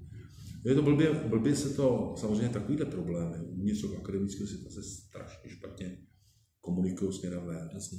To, to prostě, to jsme taky poznali. Že to prostě nevysvětlíte. Že ten prostor nedostanete, ne, a kdybyste ho dostali, tak je to tak subtilní, že, že se tím ty lidi nebudou zabývat. A teprve, když se stane opravdový průser, jako typu na, na tom, nebo je tam opravdu tak šílená osoba v centru toho dění, jako je ten Ševčík, že jo? který přesahuje do politiky a Jasně. do toho a objevují se tam jako opravdu jako projevy, jak bych řekl, patologický, Mhm. politický, no tak potom uh, se to stane tím veřejným tématem. Ale jinak se to strašně blbě eh, komunikuje. On to vlastně docela rozsáhle rozebíral i deník N. Jste asi četl, dělají to taky seriózně, objektivně, nebo, nebo ti ne? Já se čím dál tím víc domnívám, že e, není nestranný. Není, že? Velmi mě to mrzí. Ale on se zhoršil. A zpočátku byl nestranný docela. Ano, já jsem si ho předplatil. Já taky. Středově, Okamžitě. středově liberální byl. Jo, jo, byl jsem na takovém tom, eh, jako musíme si eh, teďka v tom průseru politickým bránit svoje nezávislé média. Jo. Takže to bylo jeden z těch, který jsem si Jo, jo. předplatil.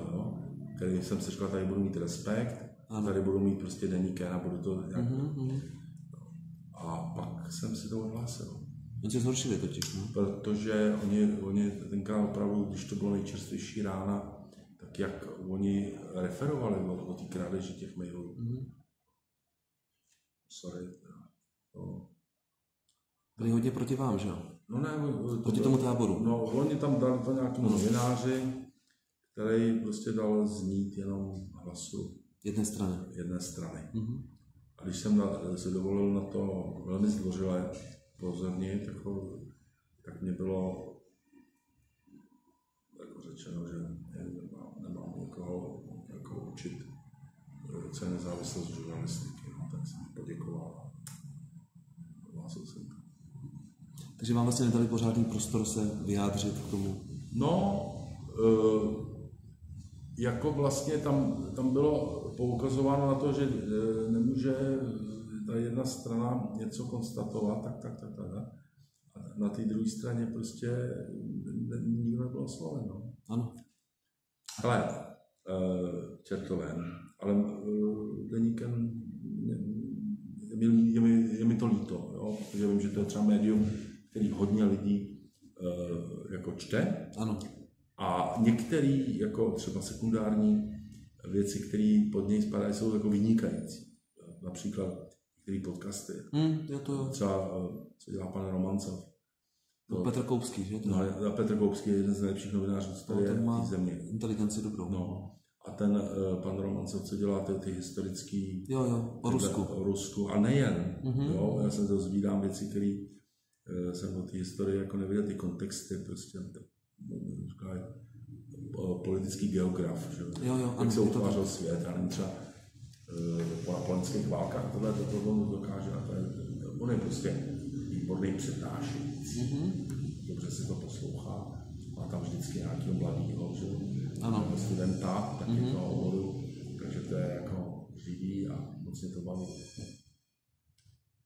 A ty hospodářské noviny teda o tom docela jako nestraně, ty hospodářské noviny referovaly, a tam se taky vlastně mluvil vy, tak jsem vás trošku považoval vlastně za, za hlavu toho tábora, Tak hele, já, eh, mozek mm, toho tábora. já, jako se, já nevím, on, mozek tábora, jo, pozor, jo, prostě jak jsem na začátku říkal, že já jsem se s některýma těma kolegama předtím, než se začali dít levici, vůbec ani neznal a nevím, kdo tady učí.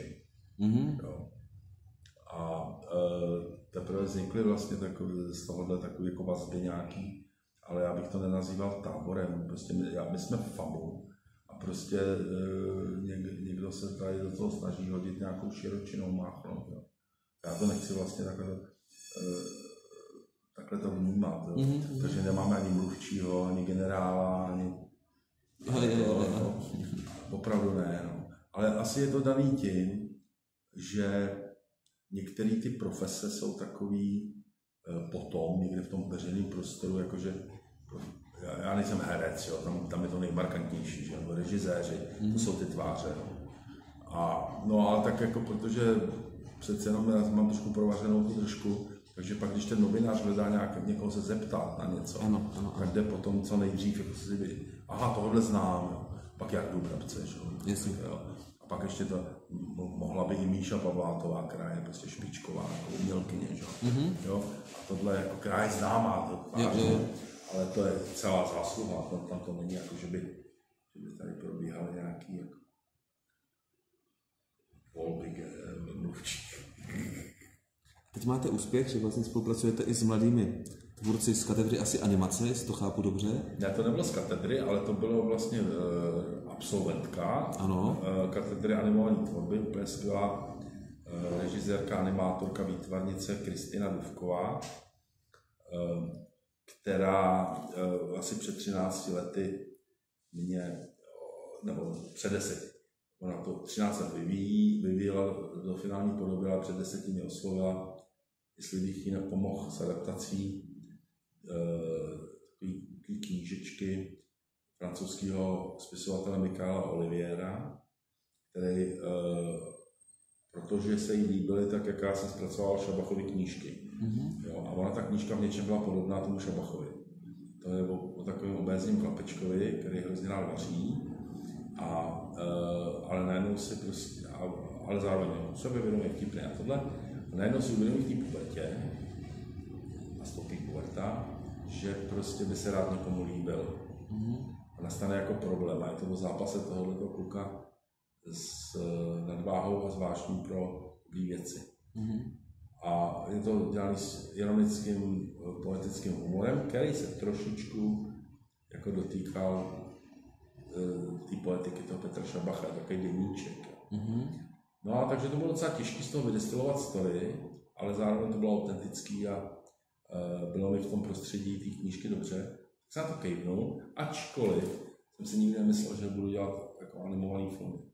Jeden už jsem odmít, uh, předtím ty lichožrouty, když to byl Pavel Šilou, guru, textář, básník, jo, který psal písničky pro texty pro Michala Prokopa, kde si a tam. Mm-hmm.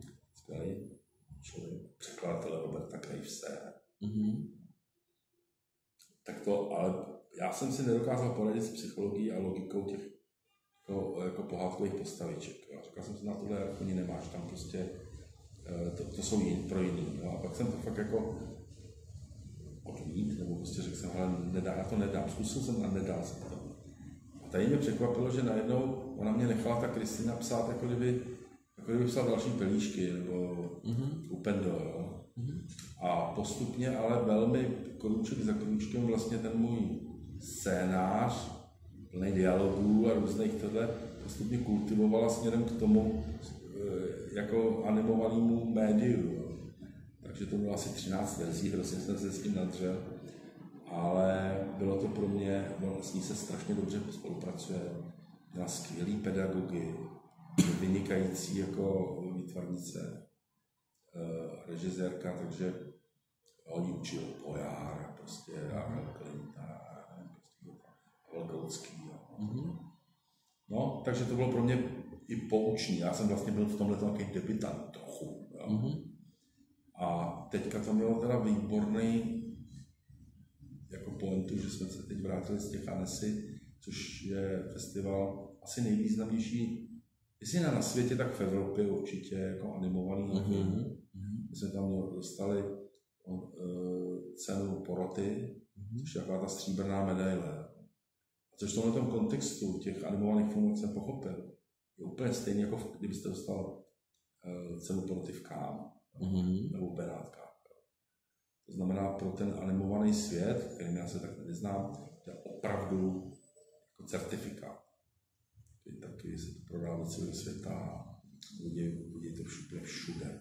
Že ten animovaný film je třeba v Japonsku, je strašně oblíbený, mm-hmm. jo, v Americe. Jo. Takže jí to hrozně přeju a pro mě to, přiznám se, po těch letech, kdy jsem se zase nějak 5-6 let žádnou práci nedostal, tak je to pro mě určitá satisfakce, že to ještě funguje. No. Kolik to má minut? To je celovečerák, to má třeba, já nevím, 91 minut. Vy jste teda vlastně výhradní scénárista. Ano, ale je to, mám tam nějakou spolupráci na scénáři, jako, a to, to jsou e, dámy, které dělá takovou dramaturgii, a druhá vlastně pomáhala Kristýně ještě předtím, když jsem nastoupil já vlastně vybrat tu knížku, ale to psaní těch verzí, jo, těch 13 verzí, to jsem si nenechal vzít, ten prostě můj titulek, kredit. To je extrémní práce, 13 verzí. Je, je to těžký. A opravdu to nejsou takový jako jen tak.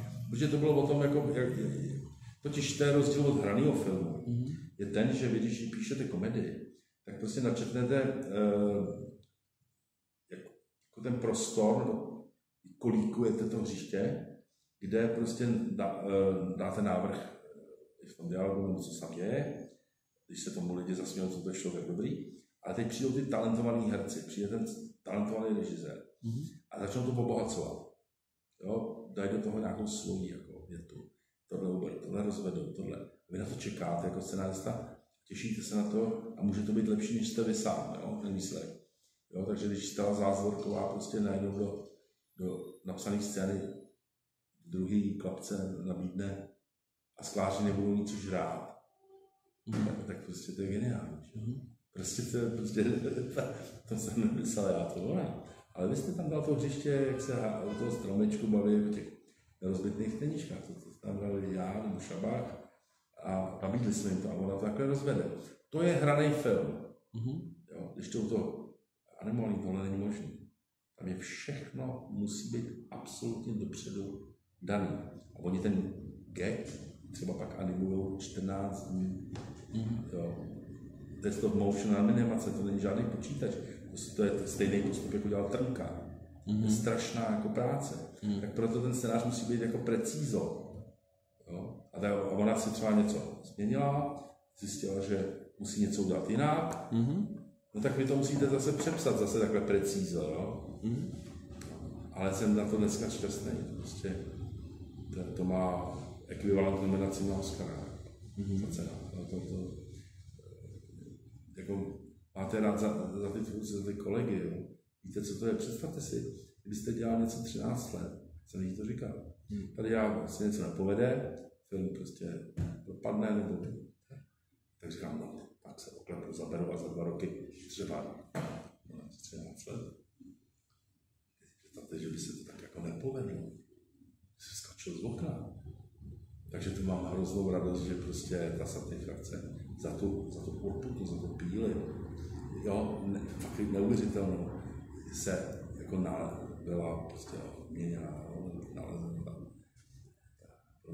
ocenění. A bude to teď ve Varech? Bude to ve Varech, v takové předpremiéře mm-hmm. a pak to bude eh, od října, tuším 15. Eh, října to bude normálně v distribuci v kinech.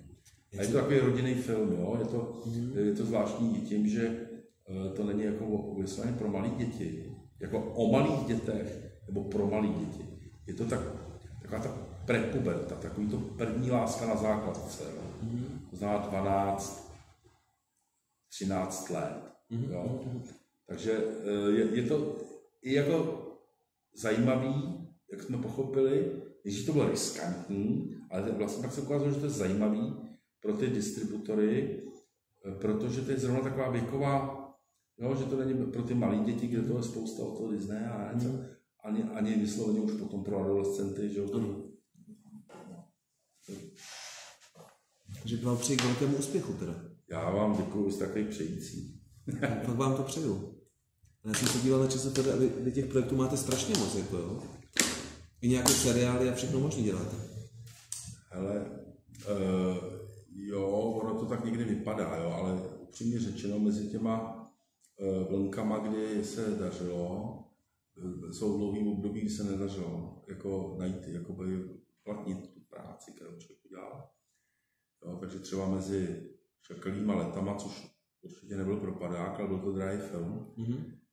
a Pelíškama byl uběhl 6 let. Mm-hmm.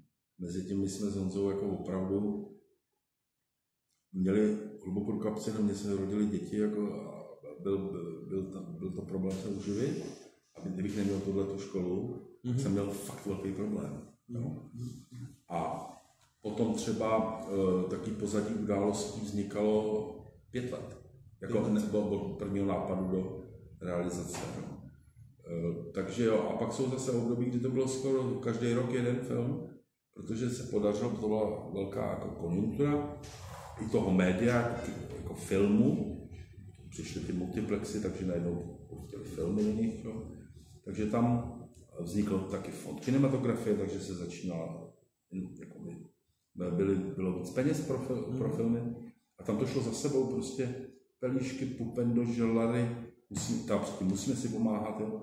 To, to, to, až do Krátka neznází horem pádem končilo to nějak mě dobrý, jo. Celá tahle ta řada byl skoro jako každý rok film, protože ty filmy se zájemně zaplatily. Takže ten producent, ten náš Ondra Trojan, prostě mohl třeba, prostě, když, když se povedly pelíšky, byly velmi levný, vydělal na nich peníze, tak se to dalo do Musíme si. Musíme si sice tady neměli takový úspěch jako, jako pelíšky, ale prodali se do světa. Tak na další film, na další film. No a takhle to v nějakém ře, eh, řadě šlo. Jo, ale pak, pak jsou období, kdy opravdu třeba teďka uh, jsme nedostali grant jo, na, na film, který jsme s Honzou hrozně jako se snažíme, ale doufám, že ještě nestaneme, jo. Mm-hmm. Není všem konec. Ale někdy jsou takové jako období, kdy musíte psát, psát do šuplete. No. Napsal jsem třeba Olmerku, o, Evě Olmerový třídílný uh, jako seriál, o jen dětství, jo, o, než se stala jako mm-hmm. A uh, to se pak ukázalo, že to je příliš nákladný pro tu televizi, jakože oni už dneska nemají peníze, chtějí uh, investovat do prostě něco, co se odehrávalo v 50. 60. letech. A tak jsem tak dlouho prostě kolem toho chodil, jak jsem s tou dělal rozhlasovou hru. Mm-hmm. A najednou se ukázalo, že to je úplně nový fenomén pro mě, že mi to úplně osvobodilo. Že tam hráli úplně neuvěřitelně dobří herci Protože jo, to je pro oni jdou na dva dny do rozhlasu, mm-hmm. vydělali si něco nějaký a, a udělají vám tam takový obsazení, byste nesehnal do seriálu. Mm-hmm. A fantastický jazzme, jazzoví muzikanti a bluesoví nahráli originální songy. Jo, protože tam třeba část toho nejsou ty slavní písně, ty Olmerový, ale jsou to jako písničky, které se, kvůli kterým se zamilovala do toho jazzu, nebo do toho country takže ona zpívá americký standardy, jako třeba 13-letá holka. My jsme našli jsem mladičkou herečku, která to tam napálí. Tak ta Homerka. A k tomu hrál dobrý jazzmeni, takže pro mě to byl úplně úkol. Jo? A říkal jsem si, zaplapám, že se tohle netočilo jako film, ale že to je ten rozhlas no, v No takže, hele, když se něco, člověk, Honza Hřebej říká, že je fatalista. V momentě, kdybyste to začal strašně prožívat, že se nedaří, že někde se dějí třeba nějaký, co vám nepřejou a neodhlasujou a hodí to pod tak se zblázníte, tak budete trpět. Tak je, říct to, to trochu nechat to koňovi. A jakmile to, to jde, tak se chytit a prostě snažit se to tlačit. A ten Petr Šebach už je vytěžen vámi? Dá se ještě udělat z toho nějaký další film, z tého tvorby? To už jsem dost vyděstil. No. Všechno? No ne, já nevím. Myslím si, že jo. jo. Jediná věc, která tam ještě jako taková je, ale je ten eh, potom, ne, eh, podivný případ Františka S. Jo. Mm. Ale ono to v něčem mělo trošku podobný eh, postup jako Růže pro Algernon, to byla taková známá hra. Ano. Jo. A tady to je něče, tak jako, a navíc já byste mohl napsat vy, protože já jsem zatím teda eh, eh, nebyl nikde v žádném eh, jako zařízení psychiatrickém a myslím si, že o tom tu zprávu, Peťa jo, tam byl kvůli řidičáku, že hrál to na papíry na hlavu, že? Mm-hmm. Tak nám potkal toho svatého Františka. Pak to napsal? Jo, jo, to napsal prostě ten božím člověku. Ale pěkná knižka, ale prostě nemusíme všechno natočit. Totiž on, on ve mně prostě existuje. To asi neřeknu žádný velký filozofický moudro, ale že když vám budou blízký lidi, tak jste s nimi překvapivě v hlavě intenzivně snažili, že jste věděl, že sedí tam na no poměřujete svoje kroky činy, co by tomu řekl, co by teďka dělal, mám se z toho zbláznit nebo ne, mám se na to vykašlat nebo naopak to jít, jo. On jaký starší brácha, to je jako literární. A už ho necháme, budeme se mu bavit jinde. A máte jeho nahrávky? Vy jste taky minule říkal, že ještě snad lepší byl vypravěč hospodský, než pak, když to psal. Nemáte nahrávky? Ne. Tenkrát no. ještě se ne, totiž nebyly tam ale vím, že byli, eh, když jste se zapídil, tak určitě dělal rozhovory v rozhlase a určitě dělal rozhovory v televizi.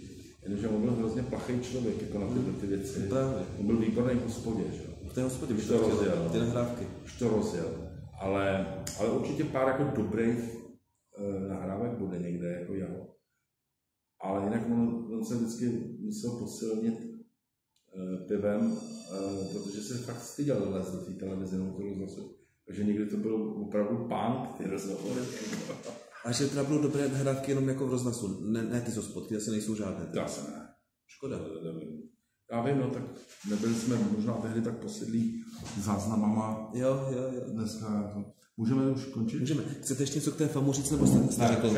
Takže vypínám natáčení, to byl profesor Petr Jarchovský o FAMu a dalších věcech.